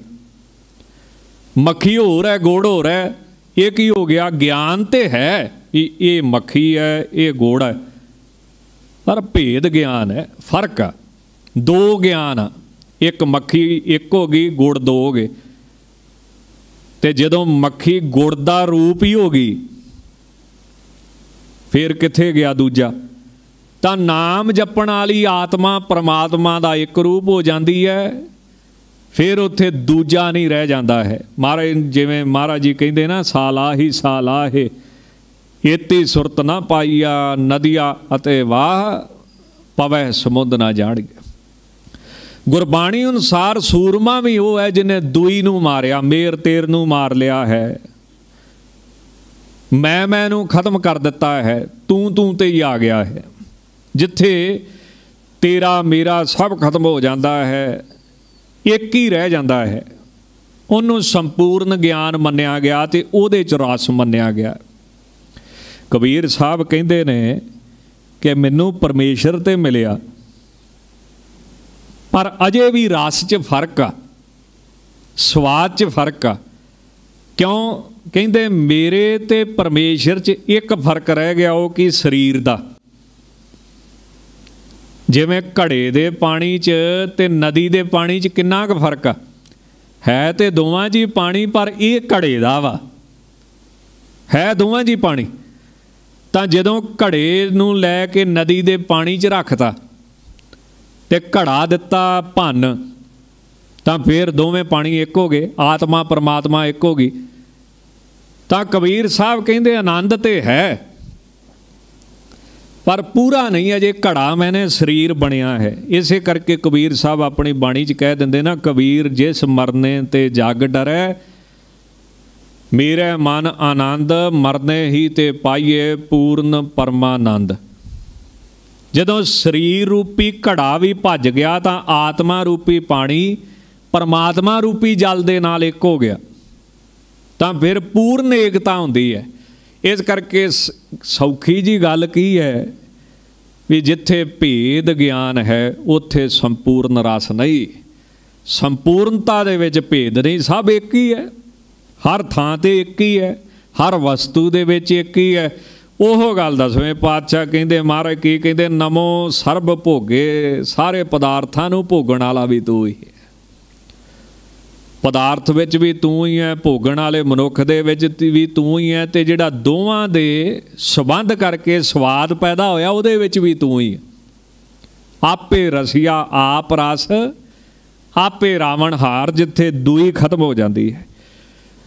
ਤਾਂ ਮਹਾਰਾਜ ਜੀ ਫਰਮਾਉਂਦੇ ਨੇ, ਐਸੇ ਵਾਹਿਗੁਰੂ ਤਾਈ ਨਮਸਕਾਰ ਹੈ। ਨਮੋ ਸਰਬ ਜੀਤੰ ਨਮੋ ਸਰਬ ਭੀਤੰ हे ਵਾਹਿਗੁਰੂ, ਸੱਚੇ ਪਾਤਸ਼ਾਹ ਜੀ, ਆਪ ਹਰ ਪ੍ਰਕਾਰ ਦੇ ਯੁੱਧ ਨੂੰ ਜੀਤਨ ਜਿੱਤਣੇ ਵਾਲੇ ਹੋ। ਆਪ ਜੀ ਨੂੰ ਨਮਸਕਾਰ ਹੈ, ਕਿਉਂਕਿ ਗੁਰਬਾਣੀ ਅਨੁਸਾਰ ਜੁੱਧ ਕੇ ਜਿਤਈਆ ਰੰਗ ਭੂਮ ਕੇ ਭਵਈਆ ਭਾਰ, ਭੂਮ ਕੇ ਮਟਈਆ ਨਾਥ ਤੀਨ ਲੋਕ ਗਾਈਏ ਗੁਰਬਾਣੀ ਅਨੁਸਾਰ ਜੁੱਧ ਨੂੰ ਜਿੱਤਣ ਵਾਲਾ ਵੀ ਉਹ ਹੀ ਹੈ। ਜਿਵੇਂ ਕਲਗੀਧਰ ਜੀ ਨੂੰ ਸਿੱਖਾਂ ਨੇ ਆਣ ਕੇ ਆਖਿਆ ਨਾ, ਮਹਾਰਾਜ, ਤੁਹਾਡੀ ਫਤਿਹ ਹੋਈ ਆ। ਜਦੋਂ ਸਭ ਤੋਂ ਪਹਿਲਾਂ ਸਾਡੀ ਫਤਿਹ ਚੱਲੀ ਹੈ, ਪਹਿਲਾਂ ਤੇ ਕਹਿੰਦੇ ਇਹ ਜਿਹੜੀ ਸਿੱਖ ਕਮਿਊਨਿਟੀ ਸੀ, ਸਿੱਖ ਭਾਈਚਾਰਾ ਸੀ, ਇਹ ਸਤ ਕਰਤਾਰ ਜਨਮ ਸਾਖੀ ਵਿੱਚ ਜ਼ਿਆਦਾ ਸ਼ਬਦ ਸਤ ਕਰਤਾਰ ਆਵੇਗਾ। ਇੱਕ ਦੂਜੇ ਨੂੰ ਜਦੋਂ ਮਿਲਦੇ ਆ ਤੇ ਸਤ ਕਰਤਾਰ। ਜਾਂ ਨਮਸਕਾਰ ਜਾਂ ਰਾਮ ਰਾਮ। ਤੇ ਸਿੱਖਾਂ 'ਚ ਕੀ ਚੱਲਦਾ ਸੀ? ਹਿੰਦੂਆਂ 'ਚ ਰਾਮ ਰਾਮ, ਸਿੱਖ ਸਤ ਕਰਤਾਰ ਕਹਿ ਦਿੰਦੇ ਜਦੋਂ ਇੱਕ ਦੂਜੇ ਨੂੰ ਮਿਲਦੇ ਨੇ। ਅੱਜ ਕੱਲ ਦੇ ਸਿੱਖਾਂ 'ਚ ਕੀ ਚੱਲਦਾ ਵਾ? ਸਤਿ ਸ੍ਰੀ ਅਕਾਲ। ਜਿਹੜਾ ਕਿ ਨਮਸਕਾਰ ਤੇ ਹੈ ਨਹੀਂ ਆ, ਸਾਡਾ ਜਕਾਰਾ ਵਾ, ਪਰ ਸਿੱਖਾਂ ਨੇ ਬਣਾ ਲਿਆ, ਇੱਕ ਦੂਜੇ ਨੂੰ ਮਿਲ ਲੱਗਿਆ, ਸਤਿ ਸ੍ਰੀ ਅਕਾਲ। ਪਰ ਸਾਡੀ ਨਮਸਕਾਰ ਕੀ ਦਸਵੇਂ ਪਾਤਸ਼ਾਹ ਨੇ ਬਣਾਈਆਂ ਵਾਹਿਗੁਰੂ ਜੀ ਕਾ ਖਾਲਸਾ ਵਾਹਿਗੁਰੂ ਜੀ ਕੀ ਫਤਿਹ। ਤਾਂ ਜਦੋਂ ਸਭ ਤੋਂ ਪਹਿਲਾਂ ਦਸਵੇਂ ਪਾਤਸ਼ਾਹ ਨੇ ਯੁੱਧ ਕੀਤਾ ਹੈ ਭੰਗਾਣੀ ਸਾਹਿਬ ਦਾ, ਉਸ ਸਮੇਂ ਸਿੱਖਾਂ ਨੇ ਆਣ ਕੇ ਆਖਿਆ ਕਿ ਸੱਚੇ ਪਾਤਸ਼ਾਹ ਗਰੀਬ ਨਵਾਜ, ਆਪ ਜੀ ਦੀ ਫਤਿਹ ਹੋਈ ਹੈ। ਤਾਂ ਮਹਾਰਾਜ ਨੇ ਕੀ ਆਖਿਆ ਸੀ? ਫਤਿਹ ਕਿਸੇ ਬੰਦੇ ਦੀ ਨਹੀਂ ਹੁੰਦੀ। ਫਤਿਹ ਕਿਹਦੀ ਹੁੰਦੀ ਹੈ? ਵਾਹਿਗੁਰੂ ਦੀ।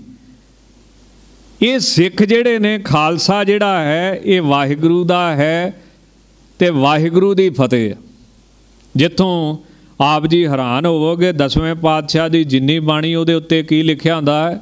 ਇੱਕ ਓੰਕਾਰ, ਸਤਿਗੁਰ ਪ੍ਰਸਾਦ, ਸ੍ਰੀ ਵਾਹਿਗੁਰੂ ਜੀ ਕੀ ਫਤਿਹ। ਫਤਿਹ ਜਿਹੜੀ ਆ, ਉਹ ਹਮੇਸ਼ਾ ਵਾਹਿਗੁਰੂ ਦੀ ਹੈ। ਜਿੱਤ ਹਮੇਸ਼ਾ ਵਾਹਿਗੁਰੂ ਦੀ ਹੁੰਦੀ ਹੈ। ਦੁਨਿਆਵੀ ਬਾਦਸ਼ਾਹ ਨੇ ਅੱਜ ਇਹਨੇ ਜਿੱਤਿਆ ਕੱਲ ਹੋਰ ਕਿਸੇ ਨੇ ਜਿੱਤ ਲੈਣਾ ਹੈ। ਪਰ ਸਦੀਵੀ ਜਿੱਤ ਕਿਹਦੀ ਹੈ? ਹਮੇਸ਼ਾ ਵਾਸਤੇ ਅਜਿੱਤ ਕੌਣ ਹੈ? ਉਹ ਵਾਹਿਗੁਰੂ ਹੈ। ਤਾਂ ਇਸ ਕਰਕੇ ਨਮੋ ਸਰਬਜੀਤੰ ਸਭ ਨੂੰ ਜਿੱਤਣ ਵਾਲਾ ਜਾਂ ਫਿਰ ਸਭ ਨੂੰ ਜਿੱਤਣ ਵਾਲੀ ਕੌਣ ਹੈ? ਮੌਤ, ਜਿਹਨੂੰ ਕੋਈ ਨਹੀਂ ਅਜੇ ਤੱਕ ਜਿੱਤ ਸਕਿਆ। ਹੈ ਕੋਈ ਕਿਸੇ ਨੇ ਮੌਤ ਨੂੰ ਜਿੱਤਿਆ ਹੋਵੇ? ਰਾਵਣ ਵਰਗੇ ਕਿੱਡੇ ਕਿੱਡੇ ਵਿਦਵਾਨ ਪੁਰਸ਼, ਅਫਲਾਤੂ ਵਰਗੇ ਕਿੱਡੇ ਕਿੱਡੇ ਚਤੁਰ ਪੁਰਸ਼, ਜਿਨ੍ਹਾਂ ਇਹੋ ਜੀਆਂ ਮੂਰਤੀਆਂ ਬਣਾ ਦਿੱਤੀਆਂ, ਐ ਜਾਪਦਾ ਸੀ ਬੰਦਾ ਖਲੋਤਾ, ਜਿਉਂਦਾ ਜਾਗਦਾ।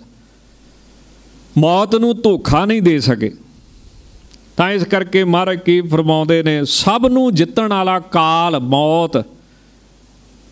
ਤੇ ਉਹ ਕਾਲ ਰੂਪ ਕੌਣ ਹੈ? ਉਹ ਪਰਮੇਸ਼ਰ ਹੈ, ਵਾਹਿਗੁਰੂ ਹੈ, ਜਿਹੜਾ ਪੈਦਾ ਕਰਦਾ ਹੈ, ਪਾਲਣਾ ਕਰਦਾ ਤੇ ਇੱਕ ਦਿਨ ਲੈਤਾ ਕਰਦਾ ਹੈ। ਇਹ ਤਿੰਨ ਗੁਣ ਵਾਹਿਗੁਰੂ ਦੇ ਵਿੱਚ ਮੰਨੇ ਜਾਂਦੇ ਹਨ। ਐਸੇ ਵਾਹਿਗੁਰੂ ਤਾਂ ਹੀ ਨਮਸਕਾਰ ਹੈ। ਜਾਂ ਫਿਰ ਨਮੋ ਸਰਬ ਜੀ ਤੰਗ ਜੀ ਦਾ ਅਰਥ ਲੈਣਾ ਜੀਵ। ਜੀਵ ਜੰਤੂ, ਤੰਗ ਮੈਨੇ ਤੇਰੇ। ਇਹ ਜਿੰਨੇ ਜੀਵ ਜੰਤੂ ਨੇ, ਸਭ ਤੇਰੇ ਹੀ ਰਚੇ ਹੋਏ ਨੇ।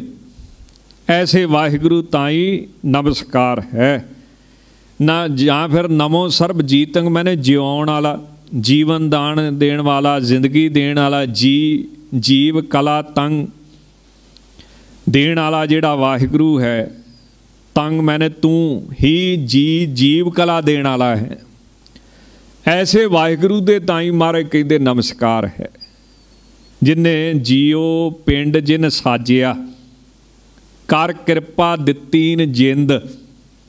ਜਿਸ ਵਾਹਿਗੁਰੂ ਨੇ ਸਰੀਰ ਸਾਜ ਕੇ ਵਿੱਚ ਜਿੰਦ ਦਿੱਤੀ, ਵਿੱਚ ਆਤਮਾ ਪਾਈ, ਐਸੇ ਵਾਹਿਗੁਰੂ ਜੀ ਦੇ ਤਾਈ ਨਮੋ ਨਮਸਕਾਰ ਹੈ।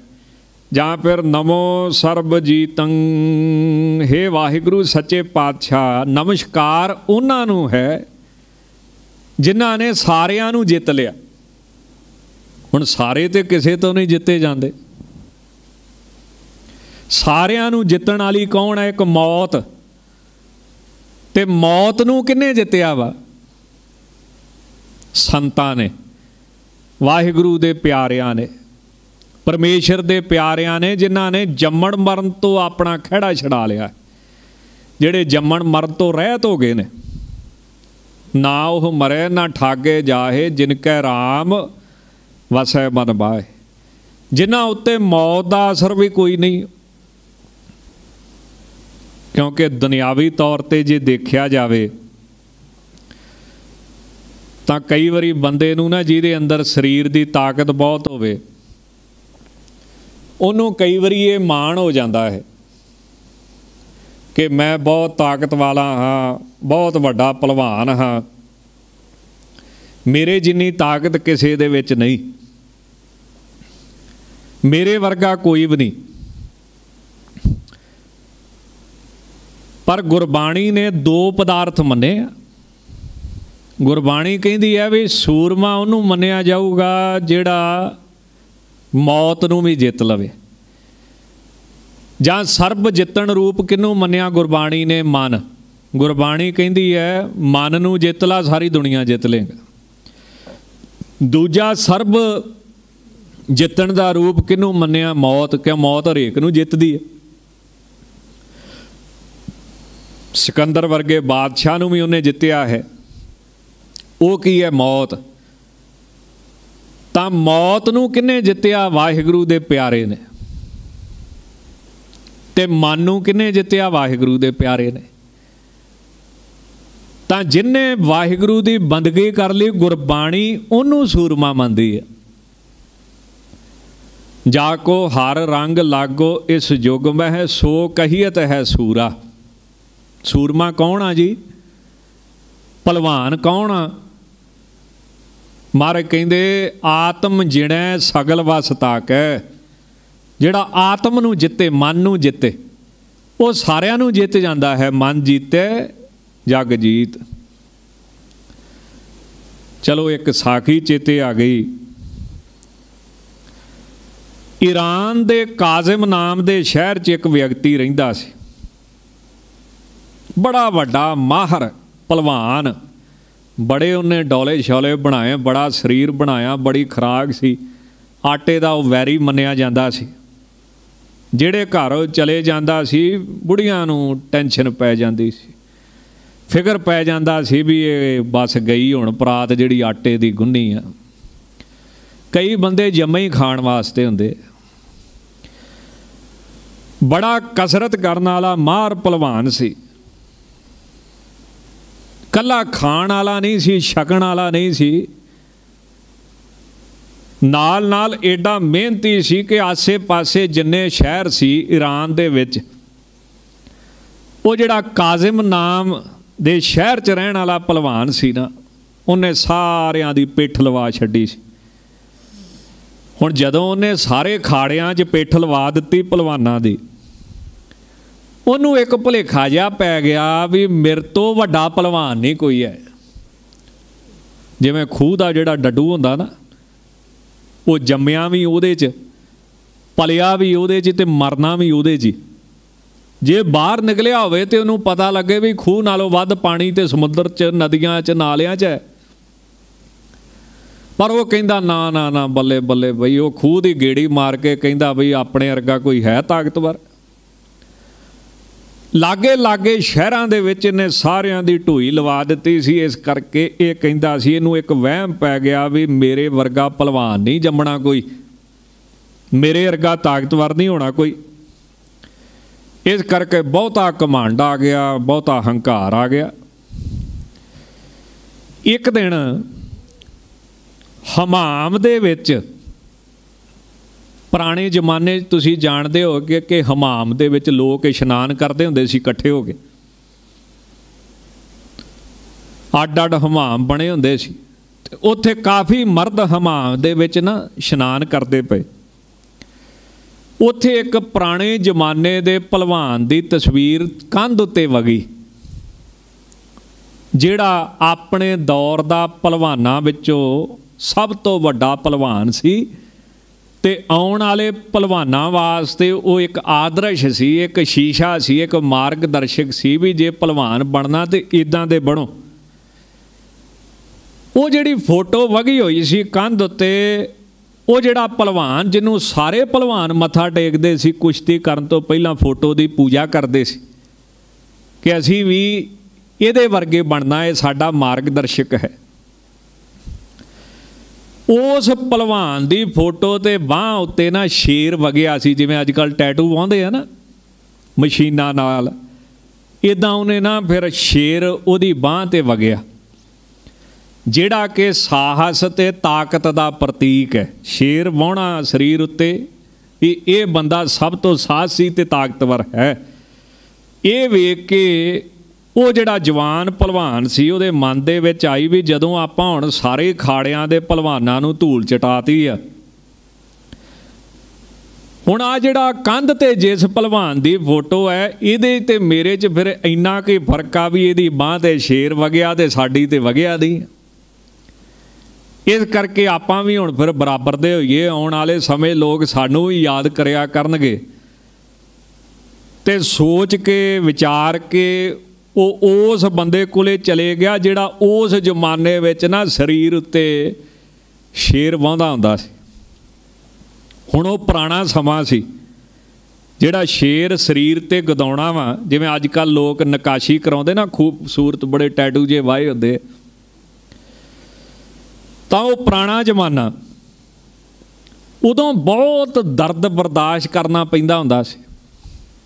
ਅੱਜ ਕੱਲ ਵਾਂਗ ਜਿਵੇਂ ਮਸ਼ੀਨਾਂ ਆ ਗਈਆਂ ਨੇ, ਇਸ ਤਰ੍ਹਾਂ ਥੋੜਾ ਹੁੰਦਾ ਸੀ ਵੀ ਸਟicker ਆ ਗਏ ਆ, ਮਾੜੇ ਜੇ ਉੱਤੇ ਵਾਹੋ ਰੱਖੋ, ਜੋੜੋ ਤੇ ਲਾ ਦਿਓ ਖਿੱਚ ਕੇ ਤੇ ਵਗ ਗਿਆ। ਉਹ ਪੁਰਾਣੇ ਸਮੇਂ ਕਹਿੰਦੇ ਬਹੁਤ ਦਰਦ ਸਹਾਰਨਾ ਪੈਂਦਾ ਸੀ। ਉਹ ਪਹਿਲਵਾਨ ਜਾ ਕੇ ਉਹਨੂੰ ਗੋਦਣ ਵਾਲੇ ਨੂੰ ਕਹਿੰਦਾ, ਕਾਰੀਗਰ ਨੂੰ ਵੀ ਮੇਰੀ ਪਿੱਠ ਤੇ ਇੱਕ ਸੋਹਣਾ ਜਿਹਾ ਸ਼ੇਰ ਤੇ ਵਾਹ। ਉਸਤਾਦ ਕਾਰੀਗਰ ਨੇ ਆਪਣੇ ਨਛੱਤਰ, ਜਿਹੜੇ ਨਸ਼ਤਰ ਸੀ ਨਾ ਨਸ਼ਤਰ ਉਹ ਫਿਰ ਗਰਮ ਕੀਤੇ, ਔਜ਼ਾਰ ਗਰਮ ਕੀਤੇ, ਜਿਨ੍ਹਾਂ ਨਾਲ ਪੁਰਾਣੇ ਸਮੇਂ ਸ਼ੇਰ ਵਹਿੰਦਾ ਹੁੰਦਾ ਜਿਵੇਂ ਹੀ ਉਹਨੇ ਗਰਮ ਨਸ਼ਤਰ ਭਲਵਾਨ ਦੀ ਪਿੱਠ ਤੇ ਚਬੋਇਆ, ਦਰਦ ਹੋਇਆ, ਲਹੂ ਨਿਕਲਿਆ, ਉਹਦੀਆਂ ਚੀਕਾਂ ਨਿਕਲ ਗਈਆਂ। ਕਹਿਣ ਲੱਗਾ, ਉਸਤਾਦ, ਕੀ ਕਰਦਾ ਵਾਂ? ਦਰਦ ਦੇ ਨਾਲ ਮੇਰਾ ਬੁਰਾ ਹਾਲ ਹੈ। ਤੇ ਕਾਰੀਗਰ ਕਹਿਣ ਲੱਗਾ ਵੀ ਤੂੰ ਆਪ ਹੀ ਤੇ ਕਿਹਾ ਵੀ ਮੇਰੀ ਪਿੱਠ ਤੇ ਸ਼ੇਰ ਵਾਦੇ। ਉਹੀ ਤੇ ਕਰਦਾ ਪਿਆ ਵਾਂ। ਪਹਿਲਵਾਨ ਕਹਿਣ ਲੱਗਾ, ਇਹ ਕਿਦਾਂ ਦਾ ਸ਼ੇਰ ਵਾਉਣਾ ਵਾ? ਜਿਹਦੇ ਨਾਲ ਮੇਰੀ ਤੂੰ ਜਾਨ ਕੱਢ ਦੇਣ ਲੱਗਾ ਸੀ। ਇੰਨੀ ਤਕਲੀਫ। ਉਸਤਾਦ ਕਹਿੰਦਾ, ਕਾਰੀਗਰ ਕਹਿੰਦਾ, ਸ਼ੇਰ ਵਗ ਰਿਹਾ ਵਾ, ਕੋਈ ਬਿੱਲੀ ਵਗ ਰਹੀ ਆ? ਜਾਂ ਕੋਈ ਚੂਜਾ ਵਗ ਰਿਹਾ ਤੇਰੇ ਸਰੀਰ ਤੇ? ਹੁਣ ਜਿੱਡਾ ਸ਼ੇਰ ਹੈ, ਉਨੀ ਪੀੜ ਚੁੱਕ ਸਿਰ ਤੇ। ਇੰਨੀ ਤੇ ਸਹਾਰ ਨਹੀਂ ਪਊਗੀ ਨਾ, ਸਾਰੀ ਪਿੱਠ ਤੇ ਸ਼ੇਰ ਵਗਣਾ ਹੈ। ਉਸਤਾ, ਉਹ ਪਹਿਲਵਾਨ ਨੇ ਆਖਿਆ ਵੀ ਸ਼ੇਰ ਦਾ ਕਿਹੜਾ ਹਿੱਸਾ ਬਣਾਉਣਾ ਸ਼ੁਰੂ ਕੀਤਾ ਹੀ ਤੂੰ? ਉਸਤਾਦ ਕਹਿਣ ਲੱਗਾ ਜੇ ਤੇ ਪੂਛ ਹੀ ਬਣਾਉਣ ਲੱਗਾ ਸੀ। ਆਖੋ, ਸਤਨਾਮ ਸ੍ਰੀ ਵਾਹਿਗੁਰੂ। ਪਹਿਲਵਾਨ ਕਹਿੰਦਾ, ਛੱਡ ਕਿਹੜਾ? ਸ਼ੇਰ ਦੀ ਕਿਸੇ ਨੇ ਪੂਛ ਵੇਖਣੀ ਆ, ਬਿਨਾ ਪੂਛ ਤੋਂ ਹੀ ਬਣਾ ਦੇ।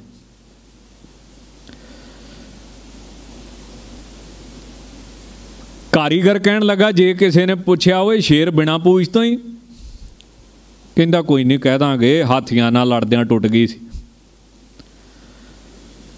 ਉਸਤਾਦ ਨੂੰ ਇਹ ਗੱਲ ਚੰਗੀ ਨਾ ਲੱਗੀ।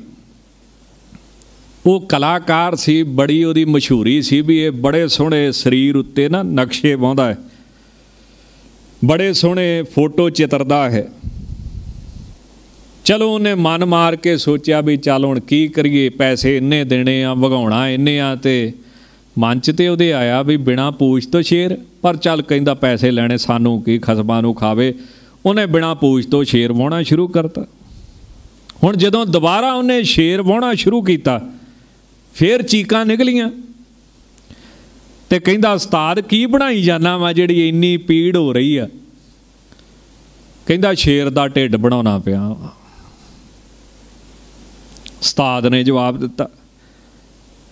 ਉਹ ਕਹਿੰਦਾ, ਛੱਡ ਖੜਾ ਢਿੱਡ ਤੋਂ ਤੂੰ ਕੀ ਲੈਣਾ ਵਾ? ਹੋਰ ਕੁਝ ਬਣਾ। ਉਹ ਉਸਤਾਦ ਗੁੱਸੇ ਜਾਣ ਕੇ ਕਹਿਣ ਲੱਗਾ, ਕਿਸੇ ਨੇ ਅੱਜ ਤੱਕ ਬਿਨਾ ਪੂਛ ਤੋਂ ਬਿਨਾ ਢਿੱਡ ਤੋਂ ਸ਼ੇਰ ਵੇਖਿਆ। ਜਦੋਂ ਤੂੰ ਇੱਕ ਨਸ਼ਤਰ ਦਾ ਦਰਦ ਨਹੀਂ ਬਰਦਾਸ਼ਤ ਕਰ ਸਕਦਾ ਤੇ ਆਪਦੇ ਆਪ ਨੂੰ ਏਡਾ ਵੱਡਾ ਪਹਿਲਵਾਨ ਕਿਵੇਂ ਸਮਝ ਲਿਆ ਲਿਆਈ?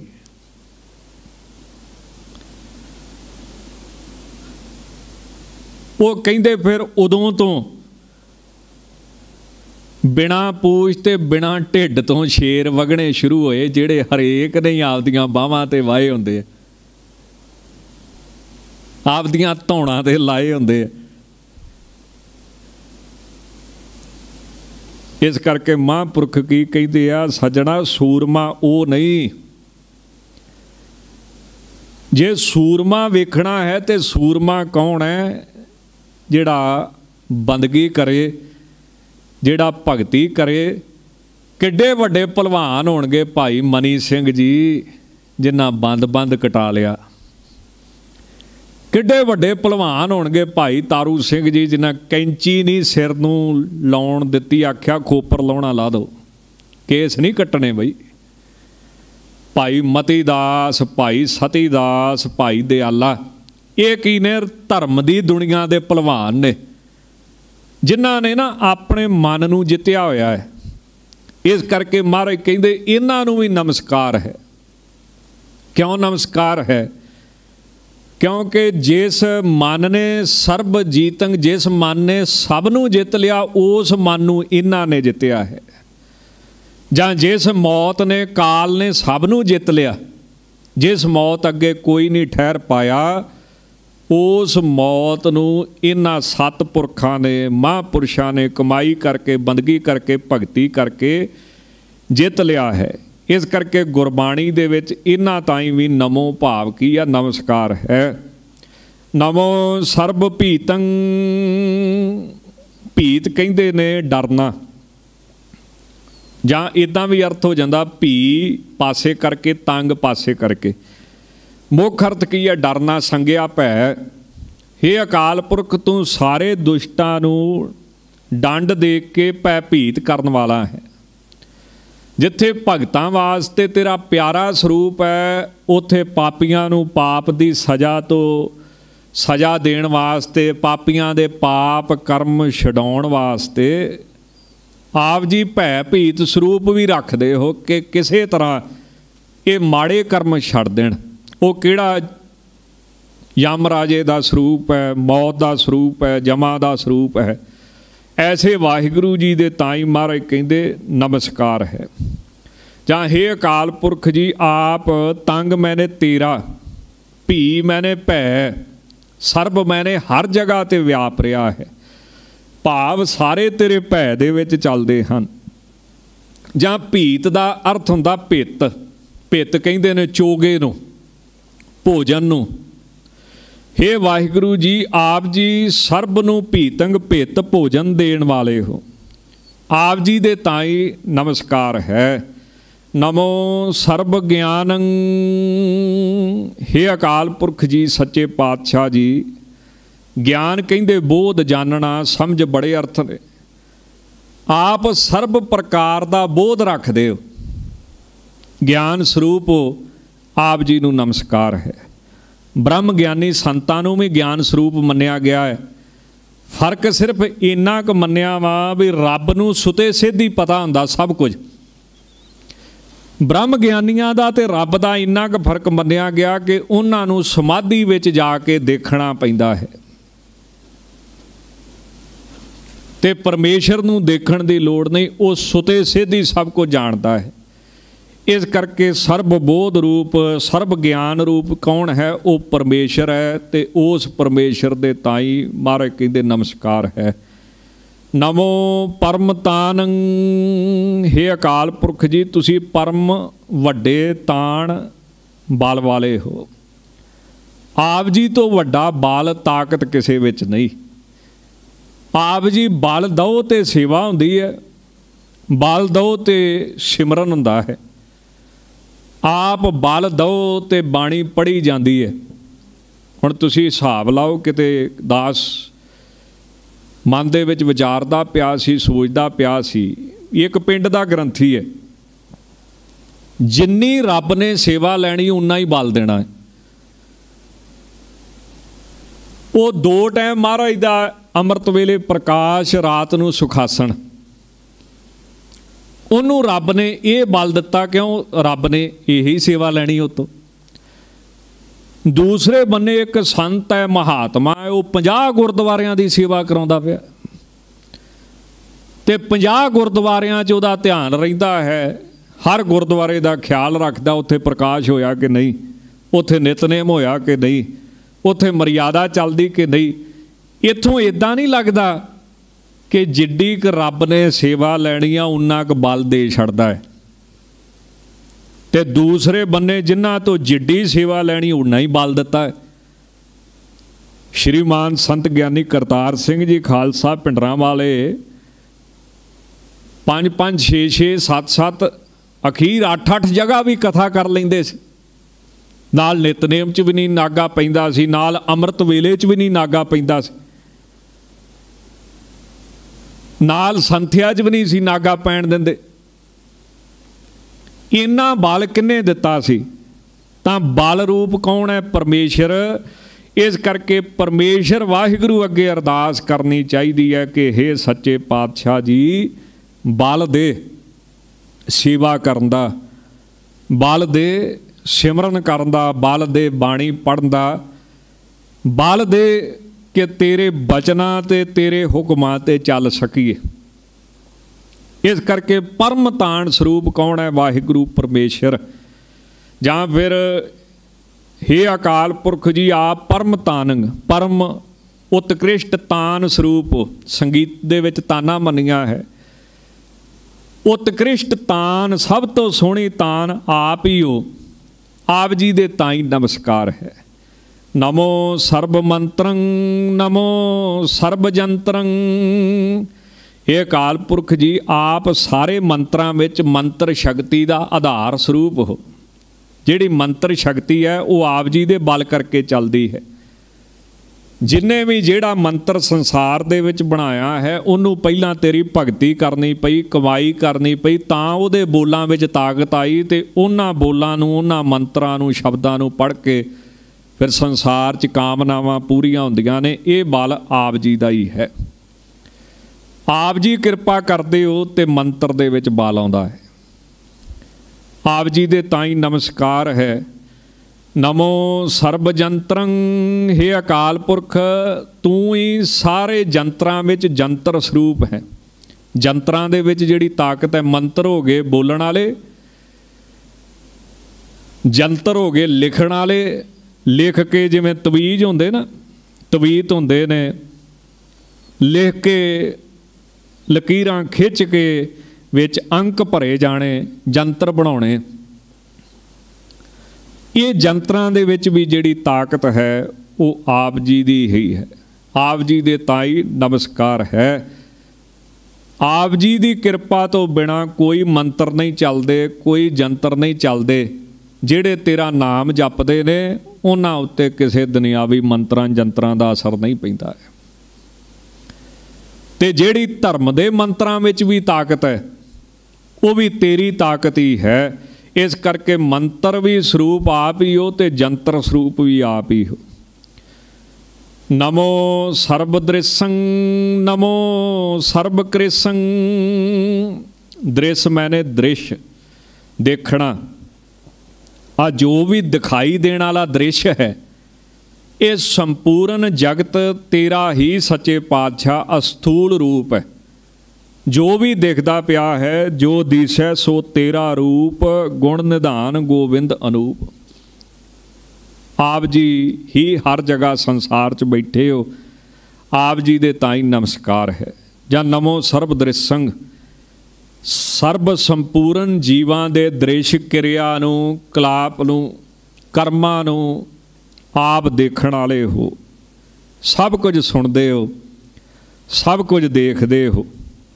ਅਨ ਬੋਲੇ ਕੋ ਤੂੰ ਹੀ ਪਛਾਨੈ, ਜੋ ਜੀਵਨ ਮਹਿ ਹੋਤਾ। ਗੁਰਬਾਣੀ ਦਾ ਬੜਾ ਸੋਹਣਾ ਪ੍ਰਮਾਣ ਹੈ ਧੰਨ ਗੁਰੂ ਅਰਜਨ ਦੇਵ ਸਾਹਿਬ। ਕਈ ਗੱਲਾਂ ਅਸੀਂ ਲੁਕੋ ਜਾਣੇ ਢਿੱਡ 'ਚ। ਤੇ ਮੂੰਹੋਂ ਕੁਝ ਹੋਰ ਬੋਲ ਕੇ ਦਿਖਾਉਨੇ ਅਗਲੇ ਨੂੰ ਠੱਗੀ ਮਾਰਦੇ ਆ। ਅਗਲੇ ਨੂੰ ਬੇਵਕੂਫ ਬਣਾਉਨੇ ਆ। ਪਰ ਪੰਜਵੇਂ ਪਾਤਸ਼ਾਹ ਕਹਿੰਦੇ, ਅਨ ਬੋਲੇ ਕੋ ਤੂੰ ਹੀ ਪਛਾਨੈ, ਜੋ ਜੀਵਨ ਮੈਂ ਹੋਤਾ, ਜਿੰਨਾ ਮਰਜ਼ੀ ਢਿੱਡ 'ਚ ਲੁਕੋ ਕੇ ਰੱਖ ਰੱਬ ਸਭ ਜਾਣਦਾ ਹੈ। ਨਮੋ ਸਰਬ ਦ੍ਰਿਸ਼ੰ, ਉਹ ਸਭ ਦੇਖਦਾ ਹੈ, ਉਹ ਸਭ ਸੁਣਦਾ, ਸਭ ਕੁਝ ਸੁਣਦਾ, ਵੇਖਦਾ ਕਿਉਂ ਮੁਕਰ ਪਿਆ ਜਾਏ? ਐਸੇ ਵਾਹਿਗੁਰੂ ਜੀ ਦੇ ਤਾਈ ਮਹਾਰਾਜ ਕਹਿੰਦੇ ਨਮਸਕਾਰ ਹੈ। ਨਮੋ ਸਰਬ ਕ੍ਰਿਸੰ ਕ੍ਰਿਸ ਕਹਿੰਦੇ ਨੇ ਕਮਜ਼ੋਰ ਨੂੰ, ਕ੍ਰਿਸ ਕਹਿੰਦੇ ਨੇ ਖਿੱਚ ਪੈਣ ਨੂੰ, ਕ੍ਰਿਸ ਕਹਿੰਦੇ ਨੇ ਖੇਤੀ ਨੂੰ। ਹੇ ਅਕਾਲ ਪੁਰਖ, ਤੂੰ ਸਭ ਤੋਂ ਕ੍ਰਿਸ ਮੈਨੇ ਕਮਜ਼ੋਰ ਭਾਵ ਅਰਥ ਕੀ ਲੈਣਾ? ਕਮਜ਼ੋਰ ਤੇ ਹੁਣ ਕਰ ਨਹੀਂ ਸਕਦੇ, ਭਾਵ ਸੂਖਮ ਰੂਪ ਜਿਹੜਾ ਪਕੜ ਚ ਨਹੀਂ ਆਉਂਦਾ। ਜਿਵੇਂ ਟੈਲੀਸਕੋਪ ਬਣੇ ਆ ਨਾ ਦੂਰ ਦੇਖਣ ਲਈ। ਇਸੇ ਤਰ੍ਹਾਂ ਮਾਈਕਰੋਸਕੋਪ ਬਣੇ ਨੇ ਛੋਟੇ ਤੋਂ ਛੋਟਾ ਦੇਖਣ ਵਾਸਤੇ। ਕਿਸੇ ਮਾਈਕਰੋਸਕੋਪ ਦੇ ਨਾਲ ਵੀ ਤੇਰਾ ਸਰੂਪ ਦੇਖਣ ਚ ਨਹੀਂ ਆਉਂਦਾ। ਹਰ ਜੀ, ਸੂਖਮ ਅਗੰਮ ਹੈ ਕਿਤਬਿਦ ਮਿਲਿਆ ਜਾਏ। ਐਸਾ ਕ੍ਰਿਸ ਸਰੂਪ ਹੈ, ਸੂਖਮ ਸਰੂਪ ਹੈ। ਜਾਂ ਕ੍ਰਿਸ਼ ਕਹਿੰਦੇ ਖਿੱਚ ਪਾਉਣ ਵਾਲੇ ਨੂੰ। ਪਰਮੇਸ਼ਰ ਦੀ ਸੁੰਦਰਤਾ ਹੀ ਸਾਰਿਆਂ ਨੂੰ ਆਪਣੇ ਵੱਲ ਖਿੱਚਦੀ ਹੈ। ਹੁਣ ਬੱਚਾ ਜਿਹੜਾ ਉਹਦੀ ਖਿੱਚ ਕੀ ਹੈ, ਉਹਦੇ ਵਿੱਚ ਪਰਮੇਸ਼ਰ ਦੀ ਸੁੰਦਰਤਾ ਹੈ। ਤਾਂ ਕੁਰਬਾਨ ਕੀਤਾ ਤਿਸੈ ਵਿਟੋ ਜਿਨ ਮੋਹ ਮੀਠਾ ਲਾਇਆ, ਜਿਸ ਕਰਕੇ ਖਿੱਚ ਪੈਂਦੀ ਹੈ। ਐਸੇ ਵਾਹਿਗੁਰੂ ਤਾਈ ਨਮਸਕਾਰ ਹੈ। ਨਮੋ ਸਰਬ ਰੰਗੇ ਤ੍ਰਿਭੰਗੀ ਅਨੰਗੇ। ਇਹ ਅਕਾਲ ਪੁਰਖ ਜੀ, ਆਪ ਹੀ ਸਰਬ ਪ੍ਰਕਾਰ ਦੇ ਰੰਗੇ ਕੌਤਕਾਂ ਨੂੰ ਕਰਨ ਵਾਲੇ ਹੋ। ਬਹੁ ਰੰਗੀ ਹੋ, ਆਪ ਜੀ ਦੇ ਤਾਈ ਨਮਸਕਾਰ ਹੈ। ਇਹੋ ਜੇ ਕੌਤਕ ਕਰ ਦਿੰਦੇ ਹੋ ਜਿਹੜੇ ਦੁਨੀਆ ਦੇ ਵਿੱਚ ਹੋਣੇ ਨਾ ਮੁਮਕਿਨ ਨੇ, ਜਿਹੜੇ ਹੋ ਨਹੀਂ ਸਕਦੇ। ਜਿਵੇਂ ਕੁਦਰਤੀ ਸੁਭਾਅ ਹੁੰਦਾ ਨਾ, ਕੁਦਰਤੀ ਸੁਭਾਅ ਬਦਲ ਸਕਦਾ ਕਿਸੇ ਦਾ, ਜਿਵੇਂ ਸ਼ੇਰ ਦਾ ਸੁਭਾਅ ਕੀ ਹੈ? ਕੁਦਰਤ ਨੇ ਉਹਨੂੰ ਕੀ ਦਿੱਤਾ? ਮਾਸ ਖਾਣਾ। ਉਹਦਾ ਸੁਭਾਅ ਨਹੀਂ ਬਦਲਿਆ ਜਾ ਸਕਦਾ ਹੈ। ਇਸੇ ਤਰ੍ਹਾਂ ਹੋਰ ਜਿਹੜੇ ਪਸ਼ੂ ਨੇ, ਉਹਨਾਂ ਦਾ ਸੁਭਾਅ ਕੁਦਰਤ ਨੇ ਦਿੱਤਾ। ਜੀਵ ਜੰਤੂਆਂ ਨੂੰ ਪਾਪ ਪੁੰਨ ਕਿਉਂ ਨਹੀਂ ਲੱਗਦਾ? ਕਿਉਂਕਿ ਉਹਨਾਂ 'ਚ ਕੁਦਰਤੀ ਸੁਭਾਅ ਵਰਤਦਾ ਪਿਆ ਹੈ, ਉਹਨਾਂ ਨੂੰ ਨਹੀਂ ਪਤਾ ਵੀ ਕੀ ਮਾੜਾ ਤੇ ਕੀ ਚੰਗਾ। ਕਰਮਾਂ ਦਾ ਫਲ ਕਿੱਥੇ ਲੱਗਦਾ ਹੁੰਦਾ ਵਾ? ਜਿੱਥੇ ਇਹ ਸੂਝ ਹੋਵੇ ਵੀ ਮਾੜਾ ਆ ਤੇ ਚੰਗਾ ਆ। ਤੇ ਮੈਨੂੰ ਪਤਾ ਵੀ ਆ ਮਾੜਾ ਕੀ ਆ, ਮੈਨੂੰ ਪਤਾ ਵੀ ਆ ਚੰਗਾ ਕੀ ਆ ਤੇ ਫੇਰ ਵੀ ਮੈਂ ਢੀਠ ਹੋ ਕੇ ਮਾੜਾ ਕਰੂੰਗਾ। ਸਭ ਕੁਝ ਪਤਾ ਹੈ। ਉੱਥੇ ਕਰਮਾਂ ਦਾ ਫਲ ਲਾਗੂ ਹੋ ਜਾਂਦਾ। ਹੁਣ ਤੁਸੀਂ ਛੋਟਾ ਬੱਚਾ ਹੀ ਦੇਖੋ। ਛੋਟੇ ਬੱਚੇ ਦਾ ਕਿਉਂ ਨਹੀਂ ਕੋਈ ਗੁੱਸਾ ਕਰਦਾ? ਉਹਨੂੰ ਪਤਾ ਹੀ ਨਹੀਂ ਆ ਕੀ ਮਾੜਾ ਕੀ ਚੰਗਾ। ਉੱਤੇ ਕਰਮਾਂ ਦਾ ਫਲ ਨਹੀਂ ਲਾਗੂ ਹੁੰਦਾ। ਪਸ਼ੂ ਪੰਛੀਆਂ ਨੂੰ ਨਹੀਂ ਪਤਾ ਮਾੜਾ ਕੀ, ਚੰਗਾ ਕੀ, ਉਹਨਾਂ ਦੇ ਕਰਮਾਂ ਦਾ ਫਲ ਨਹੀਂ ਲਾਗੂ ਹੁੰਦਾ। ਜੋ ਕੁਦਰਤ ਨੇ ਸੁਭਾਅ ਦਿੱਤਾ, ਉਹਦੇ ਵਿੱਚ ਉਹ ਵਿਚਰਦੇ ਨੇ, ਸ਼ੇਰ ਨੂੰ ਮਾਸ ਖਾਣ ਦਾ ਦਿੱਤਾ, ਉਹਨੇ ਮਾਸ ਖਾਣਾ ਹੈ। ਹਾਥੀ ਨੂੰ ਦੂਜਾ ਸੁਭਾਅ ਦਿੱਤਾ ਹੈ, ਹਰਾ ਖਾਣ ਦਾ ਉਹਨੇ ਉਹ ਖਾਣਾ ਹੈ। ਇਹ ਹੁੰਦਾ ਕੁਦਰਤੀ ਸੁਭਾਅ। ਇਹਨੂੰ ਕੋਈ ਨਹੀਂ ਬਦਲ ਸਕਦਾ। ਪਰ ਗੁਰਬਾਣੀ ਕਹਿੰਦੀ ਹੈ ਵਾਹਿਗੁਰੂ ਉੱਤੇ ਸ਼ਰਧਾ ਰੱਖ, ਯਕੀਨ ਰੱਖ, ਪਰਮੇਸ਼ਰ ਚਾਵੇ ਤਾਂ ਇਹ ਕੁਦਰਤੀ ਸੁਭਾਅ ਵੀ ਬਦਲ ਸਕਦਾ ਹੈ। ਸੀਹਾਂ, ਬਾਜਾਂ, ਚਰਗਾਂ, ਕੋਹੀਆਂ ਇਹਨਾਂ ਖਵਾਲੇ ਘਾ ਘਾਓ ਖਾਣ ਤੇ ਨਾ ਮਾਸ ਖਵਾਲੇ, ਇਹ ਚਲਾਏ ਰਾਹ। ਵਾਹਿਗੁਰੂ ਚਾਵੇ ਤੇ ਹੋ ਸਕਦਾ ਹੈ। ਹੋਰ ਕਿਸੇ ਦੇ ਵੱਸ ਦੀ ਗੱਲ ਨਹੀਂ। ਇੱਕ ਗੱਲ ਕਹਿ ਕੇ ਸਮਾਪਤੀ ਕਰਾਂ, ਹਜ਼ਰਤ ਈਸਾ ਦੀ ਮਾਂ ਮਰੀਮ। ਇਹਦਾ ਜਿਹੜਾ ਪਰਿਵਾਰ ਸੀ, ਇਹਨਾਂ ਖੁਦਾ ਦੇ ਨਾਲ ਵਾਅਦਾ ਕੀਤਾ ਸੀ ਕਿ ਖੁਦਾ, ਜਿਹੜੀ ਪਹਿਲੀ ਔਲਾਦ ਹੋਈ, ਉਹ ਤੈਨੂੰ ਸੌਂਪਾਂਗੇ। ਖੁਦਾ ਦੇ ਨਾਲ ਇਹਨਾਂ ਦਾ ਬਚਨ ਹੋਇਆ ਸੀ। ਤੇ ਮਾਂ ਨੇ ਸੋਚਿਆ ਸੀ ਵੀ ਲੜਕਾ ਹੋਊਗਾ ਅੱਜ ਕੱਲ ਵੀ ਗੁਰਦੁਆਰੇ ਲੜਕੇ ਚੜਾਏ ਜਾਂਦੇ ਨੇ ਵੀ ਸੇਵਾ ਕਰੋ ਪੰਥ ਦੀ। ਤਾਂ ਉਹ ਮਾਤਾ ਹੋਈ ਲੜਕੀ ਤੇ ਉਹਨੇ ਫਿਰ ਆਖਿਆ ਵੀ ਖੁਦਾ ਹੁਣ ਇਹੀ ਤੇਰੇ ਨਾਂ ਫਿਰ। ਖੁਦਾ ਪ੍ਰਸੰਨ ਹੋਇਆ ਜਾਂ ਇਸ ਗੱਲ 'ਚ ਕੋਈ ਭੇਦ ਹੋਵੇ ਤਾਂ ਇਹ ਈਸਾਈ ਵਿਦਵਾਨ ਜਾਣਦਾ ਹੋਊਗਾ। ਦਾਸ ਜਿਹੜੀ ਗੱਲ ਕਹਿਣੀ ਚਾਹੁੰਦਾ ਹੈ, ਉਧਰ ਆਪਾਂ ਧਿਆਨ ਦੇਣਾ, ਇਹ ਇਤਿਹਾਸ ਉਹਨਾਂ ਨੂੰ ਜ਼ਿਆਦਾ ਪਤਾ ਹੈ। ਖੁਦਾ ਐਡਾ ਪ੍ਰਸੰਨ ਹੋਇਆ, ਮਰੀਮ ਨੂੰ ਕਹਿਣ ਲੱਗਾ, ਤੈਨੂੰ ਮਾਣ ਦੇਣਾ ਵਾ। ਤੈਨੂੰ ਦੁਨੀਆ 'ਚ ਸਤਕਾਰ ਦੇਣਾ ਹੈ। ਤੇਰੇ ਘਰ ਦੇ ਵਿੱਚ ਇਤਾਂ ਦੀ ਔਲਾਦ ਲਿਆਉਣੀ ਆ, ਜਿਹੜਾ ਮੇਰਾ ਨਾਮ ਜਪਾਵੇਗੀ ਸੰਸਾਰ 'ਚ। ਤੇ ਮਰੀਮ ਕਿੱਡੀ ਭੋਲੀ ਹੋਊਗੀ। ਕਿੱਡੀ ਪਾਕ ਜੀਵਨ ਵਾਲੀ ਹੋਊਗੀ। ਉਹਨੇ ਕੀ ਅਰਦਾਸ ਕੀਤੀ ਸੀ ਕਿ हे ਖੁਦਾ, ਮੈਂ ਤਾਂ ਕਿਸੇ ਮਰਦ ਨੂੰ ਹੱਥ ਹੀ ਨਹੀਂ ਲਾਉਣ ਦਿੱਤਾ। ਮਰਦ ਦਾ ਸਪਰਸ਼ ਹੀ ਨਹੀਂ ਆ। ਕਿਉਂ? ਖੁਦਾ ਦੇ ਨਾਂ ਤੇ ਇਹਦੀ ਅਰਦਾਸ ਹੋਈ ਸੀ। ਤੇ ਖੁਦਾ ਨੇ ਅੱਗਿਓਂ ਕੀ ਆਖਿਆ? ਜੋ ਇਹਨਾਂ ਦੇ ਗ੍ਰੰਥਾਂ 'ਚ ਲਿਖਿਆ ਬਈ, ਖੁਦਾ ਨੇ ਪਤਾ ਕੀ ਆਖਿਆ? ਖੁਦਾ ਕਹਿੰਦਾ ਖੁਦਾ ਤੇ ਫਿਰ ਉਹੋ ਹੀ ਹੁੰਦਾ ਨਾ ਜਿਹੜਾ ਬਿਨਾ ਮਰਦ ਤੋਂ ਵੀ ਔਲਾਦ ਪੈਦਾ ਕਰੇ। ਨਹੀਂ ਤੇ ਔਰਤ ਤੇ ਮਰਦ ਹੋਊ ਤੇ ਔਲਾਦ ਪੈਦਾ ਹੋਊਗੀ। ਜੋ ਇਹਨਾਂ ਦੇ ਗ੍ਰੰਥਾਂ 'ਚ ਲਿਖਿਆ, ਫਿਰ ਉਹ ਖੁਦਾ ਹੀ ਕਾਦਾ ਹੋਇਆ? ਫਿਰ ਤੇ ਵਿਆਹ ਹੁੰਦੇ ਹੀ ਆ, ਨਿਆਣੇ ਜੰਮੀ ਜਾਂਦੇ, ਕੁਦਰਤੀ ਢਾਂਚਾ ਬਣਿਆ ਵਾ। ਘਾਹ ਤੋਂ ਕਹਿਦਾ ਘਾਹ ਪੈਦਾ ਹੋਈ ਜਾਂਦਾ, ਪਸ਼ੂਆਂ ਤੋਂ ਪਸ਼ੂ ਪੈਦਾ ਹੋਈ ਜਾਂਦੇ ਆ, ਜੀਵਾਂ ਤੋਂ ਜੀਵ ਪੈਦਾ ਹੋਈ ਜਾਂਦੇ, ਫਿਰ ਉਹ ਖੁਦਾ ਕਾਦਾ ਹੋਇਆ? ਜੇ ਮਰਦ ਦੀ ਲੋੜ ਹੀ ਹੋਈ ਜਿਵੇਂ ਤੂੰ ਕਹਿੰਦੇ ਮਰਦ ਦਾ ਸਪਰਸ਼ ਨਹੀਂ ਕੀਤਾ, ਜਿਹੜੀ ਔਲਾਦ ਤੇਰੇ ਘਰ ਆਊਗੀ, ਉਹਦੇ ਉੱਤੇ ਵੀ ਕਿਸੇ ਔਰਤ ਦਾ ਸਪਰਸ਼ ਨਹੀਂ ਹੋਵੇਗਾ। ਕੋਈ ਮੋਹ ਨਹੀਂ ਪਵੇਗਾ। ਉਹਦੇ ਉੱਤੇ ਵੀ ਕਾਮ ਦਾ ਅਸਰ ਨਹੀਂ ਹੋਵੇਗਾ, ਕਿਉਂ? ਉਹ ਕਾਮ ਚੋਂ ਪੈਦਾ ਹੀ ਨਹੀਂ ਹੋਣਾ। ਹੁਣ ਇਹ ਗੱਲਾਂ ਇਹਨਾਂ ਦੇ ਗ੍ਰੰਥਾਂ 'ਚ ਲਿਖੀਆਂ। ਜਿਹੜੇ ਸਾਇੰਸ ਨੂੰ ਮੰਨਦੇ ਨੇ ਤੇ ਦੁਨੀਆ 'ਚ ਸਭ ਤੋਂ ਵੱਧ ਤਰੱਕੀ ਵਾਲੇ ਅੰਗਰੇਜ਼ਾਂ ਦੇ ਦੇਸ਼ ਨੇ। ਤਾਂ ਗੁਰਬਾਣੀ ਕੀ ਕਹਿੰਦੀ ਆ? ਭਰਾ, ਉਹ ਪਰਮੇਸ਼ਰ ਸਰਬ ਰੰਗੀ ਬਹੁ ਰੰਗੀ ਆ। ਹਾਲਾਂਕਿ ਕੁਦਰਤੀ ਸੁਭਾਅ ਨਹੀਂ ਕੋਈ ਬਦਲ ਸਕਦਾ। ਮਰਦ, ਔਰਤ ਹੋਣਗੇ ਤੇ ਔਲਾਦ ਪੈਦਾ ਹੋਵੇਗੀ। ਇੱਕ ਦੀ ਘਾਟ ਔਲਾਦ ਨਹੀਂ ਪੈਦਾ ਕਰ ਸਕੇਗੀ। ਪਰ ਗੁਰਬਾਣੀ ਕੀ ਕਹਿੰਦੀ ਆ? ਉਹ ਕੁਦਰਤੀ ਸੁਭਾਅ ਵੀ ਭੰਨਣ ਵਾਲਾ, ਫਿਰ ਉਹ ਖੁਦਾ ਹੀ ਕਾਦਾ ਹੋਇਆ? ਇਹੀ ਤੇ ਉਹਦੀ ਖੁਦਾਈ ਮੰਨੀ ਜਾਂਦੀ ਹੈ। ਵੱਡਾ ਪਣ ਮੰਨਿਆ ਜਾਂਦਾ ਹੈ। ਸੀਹਾਂ, ਬਾਜਾਂ, ਚਰਗਾ, ਕੋਹੀਆਂ ਇਹਨਾਂ ਖਵਾਲੇ ਘਾ ਘਾਓ ਖਾਣ ਤੇ ਨਾ ਮਾਸ ਖਵਾਲੇ, ਇਹ ਚਲਾਏ ਰਾਹ। ਨਦੀਆਂ ਵਿੱਚ ਟਿੱਬੇ ਦਿਖਾਲੇ, ਥਲੀ ਕਰੇ ਅਸਗਾ ਕੀੜਾ ਥਾਪ ਦੇ ਪਾਤਸ਼ਾਹੀ, ਲਸ਼ਕਰ ਕਰੇ ਸਵਾ ਤਾਂ ਮਾਰੇ ਕਹਿੰਦੇ, ਉਹ ਸਰਬ ਰੰਗੀ ਹੈ। ਜਾਂ ਨਮੋ ਸਰਬ ਰੰਗੇ ਨਮਸਕਾਰ ਹੈ ਉਸ ਵਾਹਿਗੁਰੂ ਨੂੰ, ਜਿਹੜਾ ਹਰ ਪ੍ਰਕਾਰ ਦੇ ਰੰਗ ਆਨੰਦ ਨੂੰ ਦੇਣ ਵਾਲਾ ਹੈ। ਤਿਰ ਭੰਗੀ ਅਨੰਗੇ। ਇਹ ਅਕਾਲ ਪੁਰਖ ਜੀ, ਤੂੰ ਤਿੰਨਾਂ ਤਾਪਾਂ ਦੇ ਭੰਗੀ ਨਾਸ ਕਰਨ ਵਾਲਾ ਹੈ। ਤਿਰ ਭੰਗੀ, ਤਿੰਨਾਂ ਤਾਪਾਂ ਨੂੰ ਭੰਗਣ ਵਾਲਾ, ਨਾਸ ਕਰਨ ਵਾਲਾ ਹੈ। ਤੇ ਤੇਰਾ ਪੰਜ ਭੌਤਿਕ ਸਰੀਰ ਜਿਹੜਾ ਉਹ ਅਨੰਗੇ ਜਿਵੇਂ ਸਾਡਾ ਪੰਜ ਭੌਤਿਕ ਸਰੀਰ ਹੈ ਅਨੰਗ ਹੈ। ਸਰੀਰ ਹੈ, ਹੱਥ ਹੈ, ਪੈਰ ਹੈ, ਅਵੈਵ ਹੈ, ਹਿੱਸੇ ਆ। ਇਦਾਂ ਵਾਹਿਗੁਰੂ ਦਾ ਸਰੀਰ ਅਨ ਅੰਗੇ ਇਹ ਅੰਗਾਂ ਵਾਲਾ ਸਰੀਰ ਨਹੀਂ ਮੰਨਿਆ ਜਾਂਦਾ, ਪ੍ਰਕਾਸ਼ ਮੰਨਿਆ ਜਾਂਦਾ ਹੈ, ਜੋਤ ਮੰਨਿਆ ਜਾਂਦਾ ਹੈ। ਇਦਾਂ ਦਾ ਵਾਹਿਗੁਰੂ ਜੀ ਦਾ ਸਰੀਰ ਮੰਨਿਆ ਜਾਂਦਾ ਹੈ। ਜਾਂ ਤ੍ਰਿਭੰਗੀ। ਅਨੰਗੇ। ਇਹ ਅਕਾਲ ਪੁਰਖ ਜੀ, ਆਪ ਅਨੰਗੇ ਸੁੰਦਰ ਹੋ ਤੇ ਤ੍ਰਿਭੰਗੀ ਦੁਆਪਰ ਦੇ ਵਿੱਚ ਤੁਸੀਂ ਸ੍ਰੀ ਕ੍ਰਿਸ਼ਨ ਸਰੂਪ ਹੋ ਕੇ ਅਨੇਕ ਪ੍ਰਕਾਰ ਦੇ ਕੌਤਕ ਕੀਤੇ। ਤ੍ਰਿਭੰਗੀ ਨਾਮ ਭਗਵਾਨ ਕ੍ਰਿਸ਼ਨ ਦਾ ਹੈ।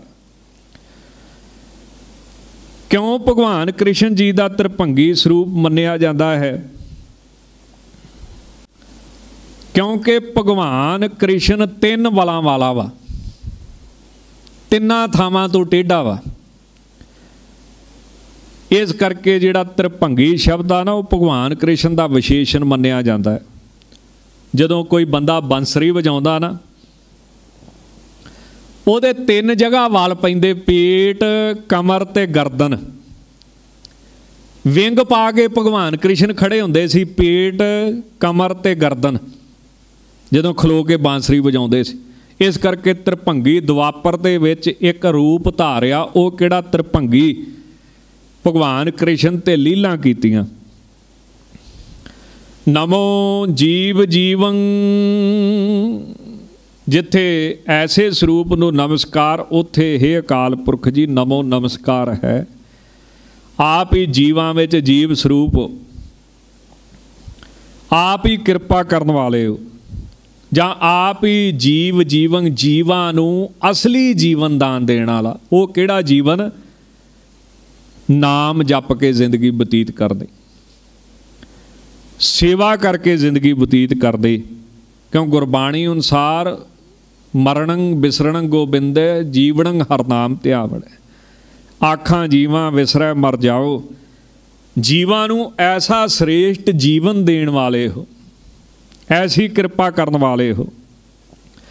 ਜਾਂ ਸਾਰੇ ਜੀਵ ਇਹਨਾਂ ਦਾ ਆਧਾਰ ਆਪ ਹੋ, ਇਸ ਕਰਕੇ ਜੀਵਾਂ ਦਾ ਵੀ ਜੀਵ ਜੀਵਨ ਸਰੂਪ ਹੋ।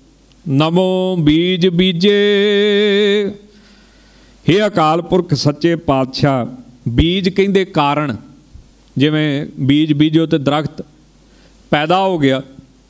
ਕਾਰਨ ਕੀ ਹੋ ਗਿਆ? ਬੀਜ। ਕਾਰਜ ਕੀ ਹੋ ਗਿਆ? ਦਰਖਤ। ਤਾਂ हे ਅਕਾਲ ਪੁਰਖ ਜੀ, ਆਪ ਬੀਜ ਬੀਜੇ ਕਾਰਣਾ ਦਾ ਵੀ ਕਾਰਨ ਹੋ।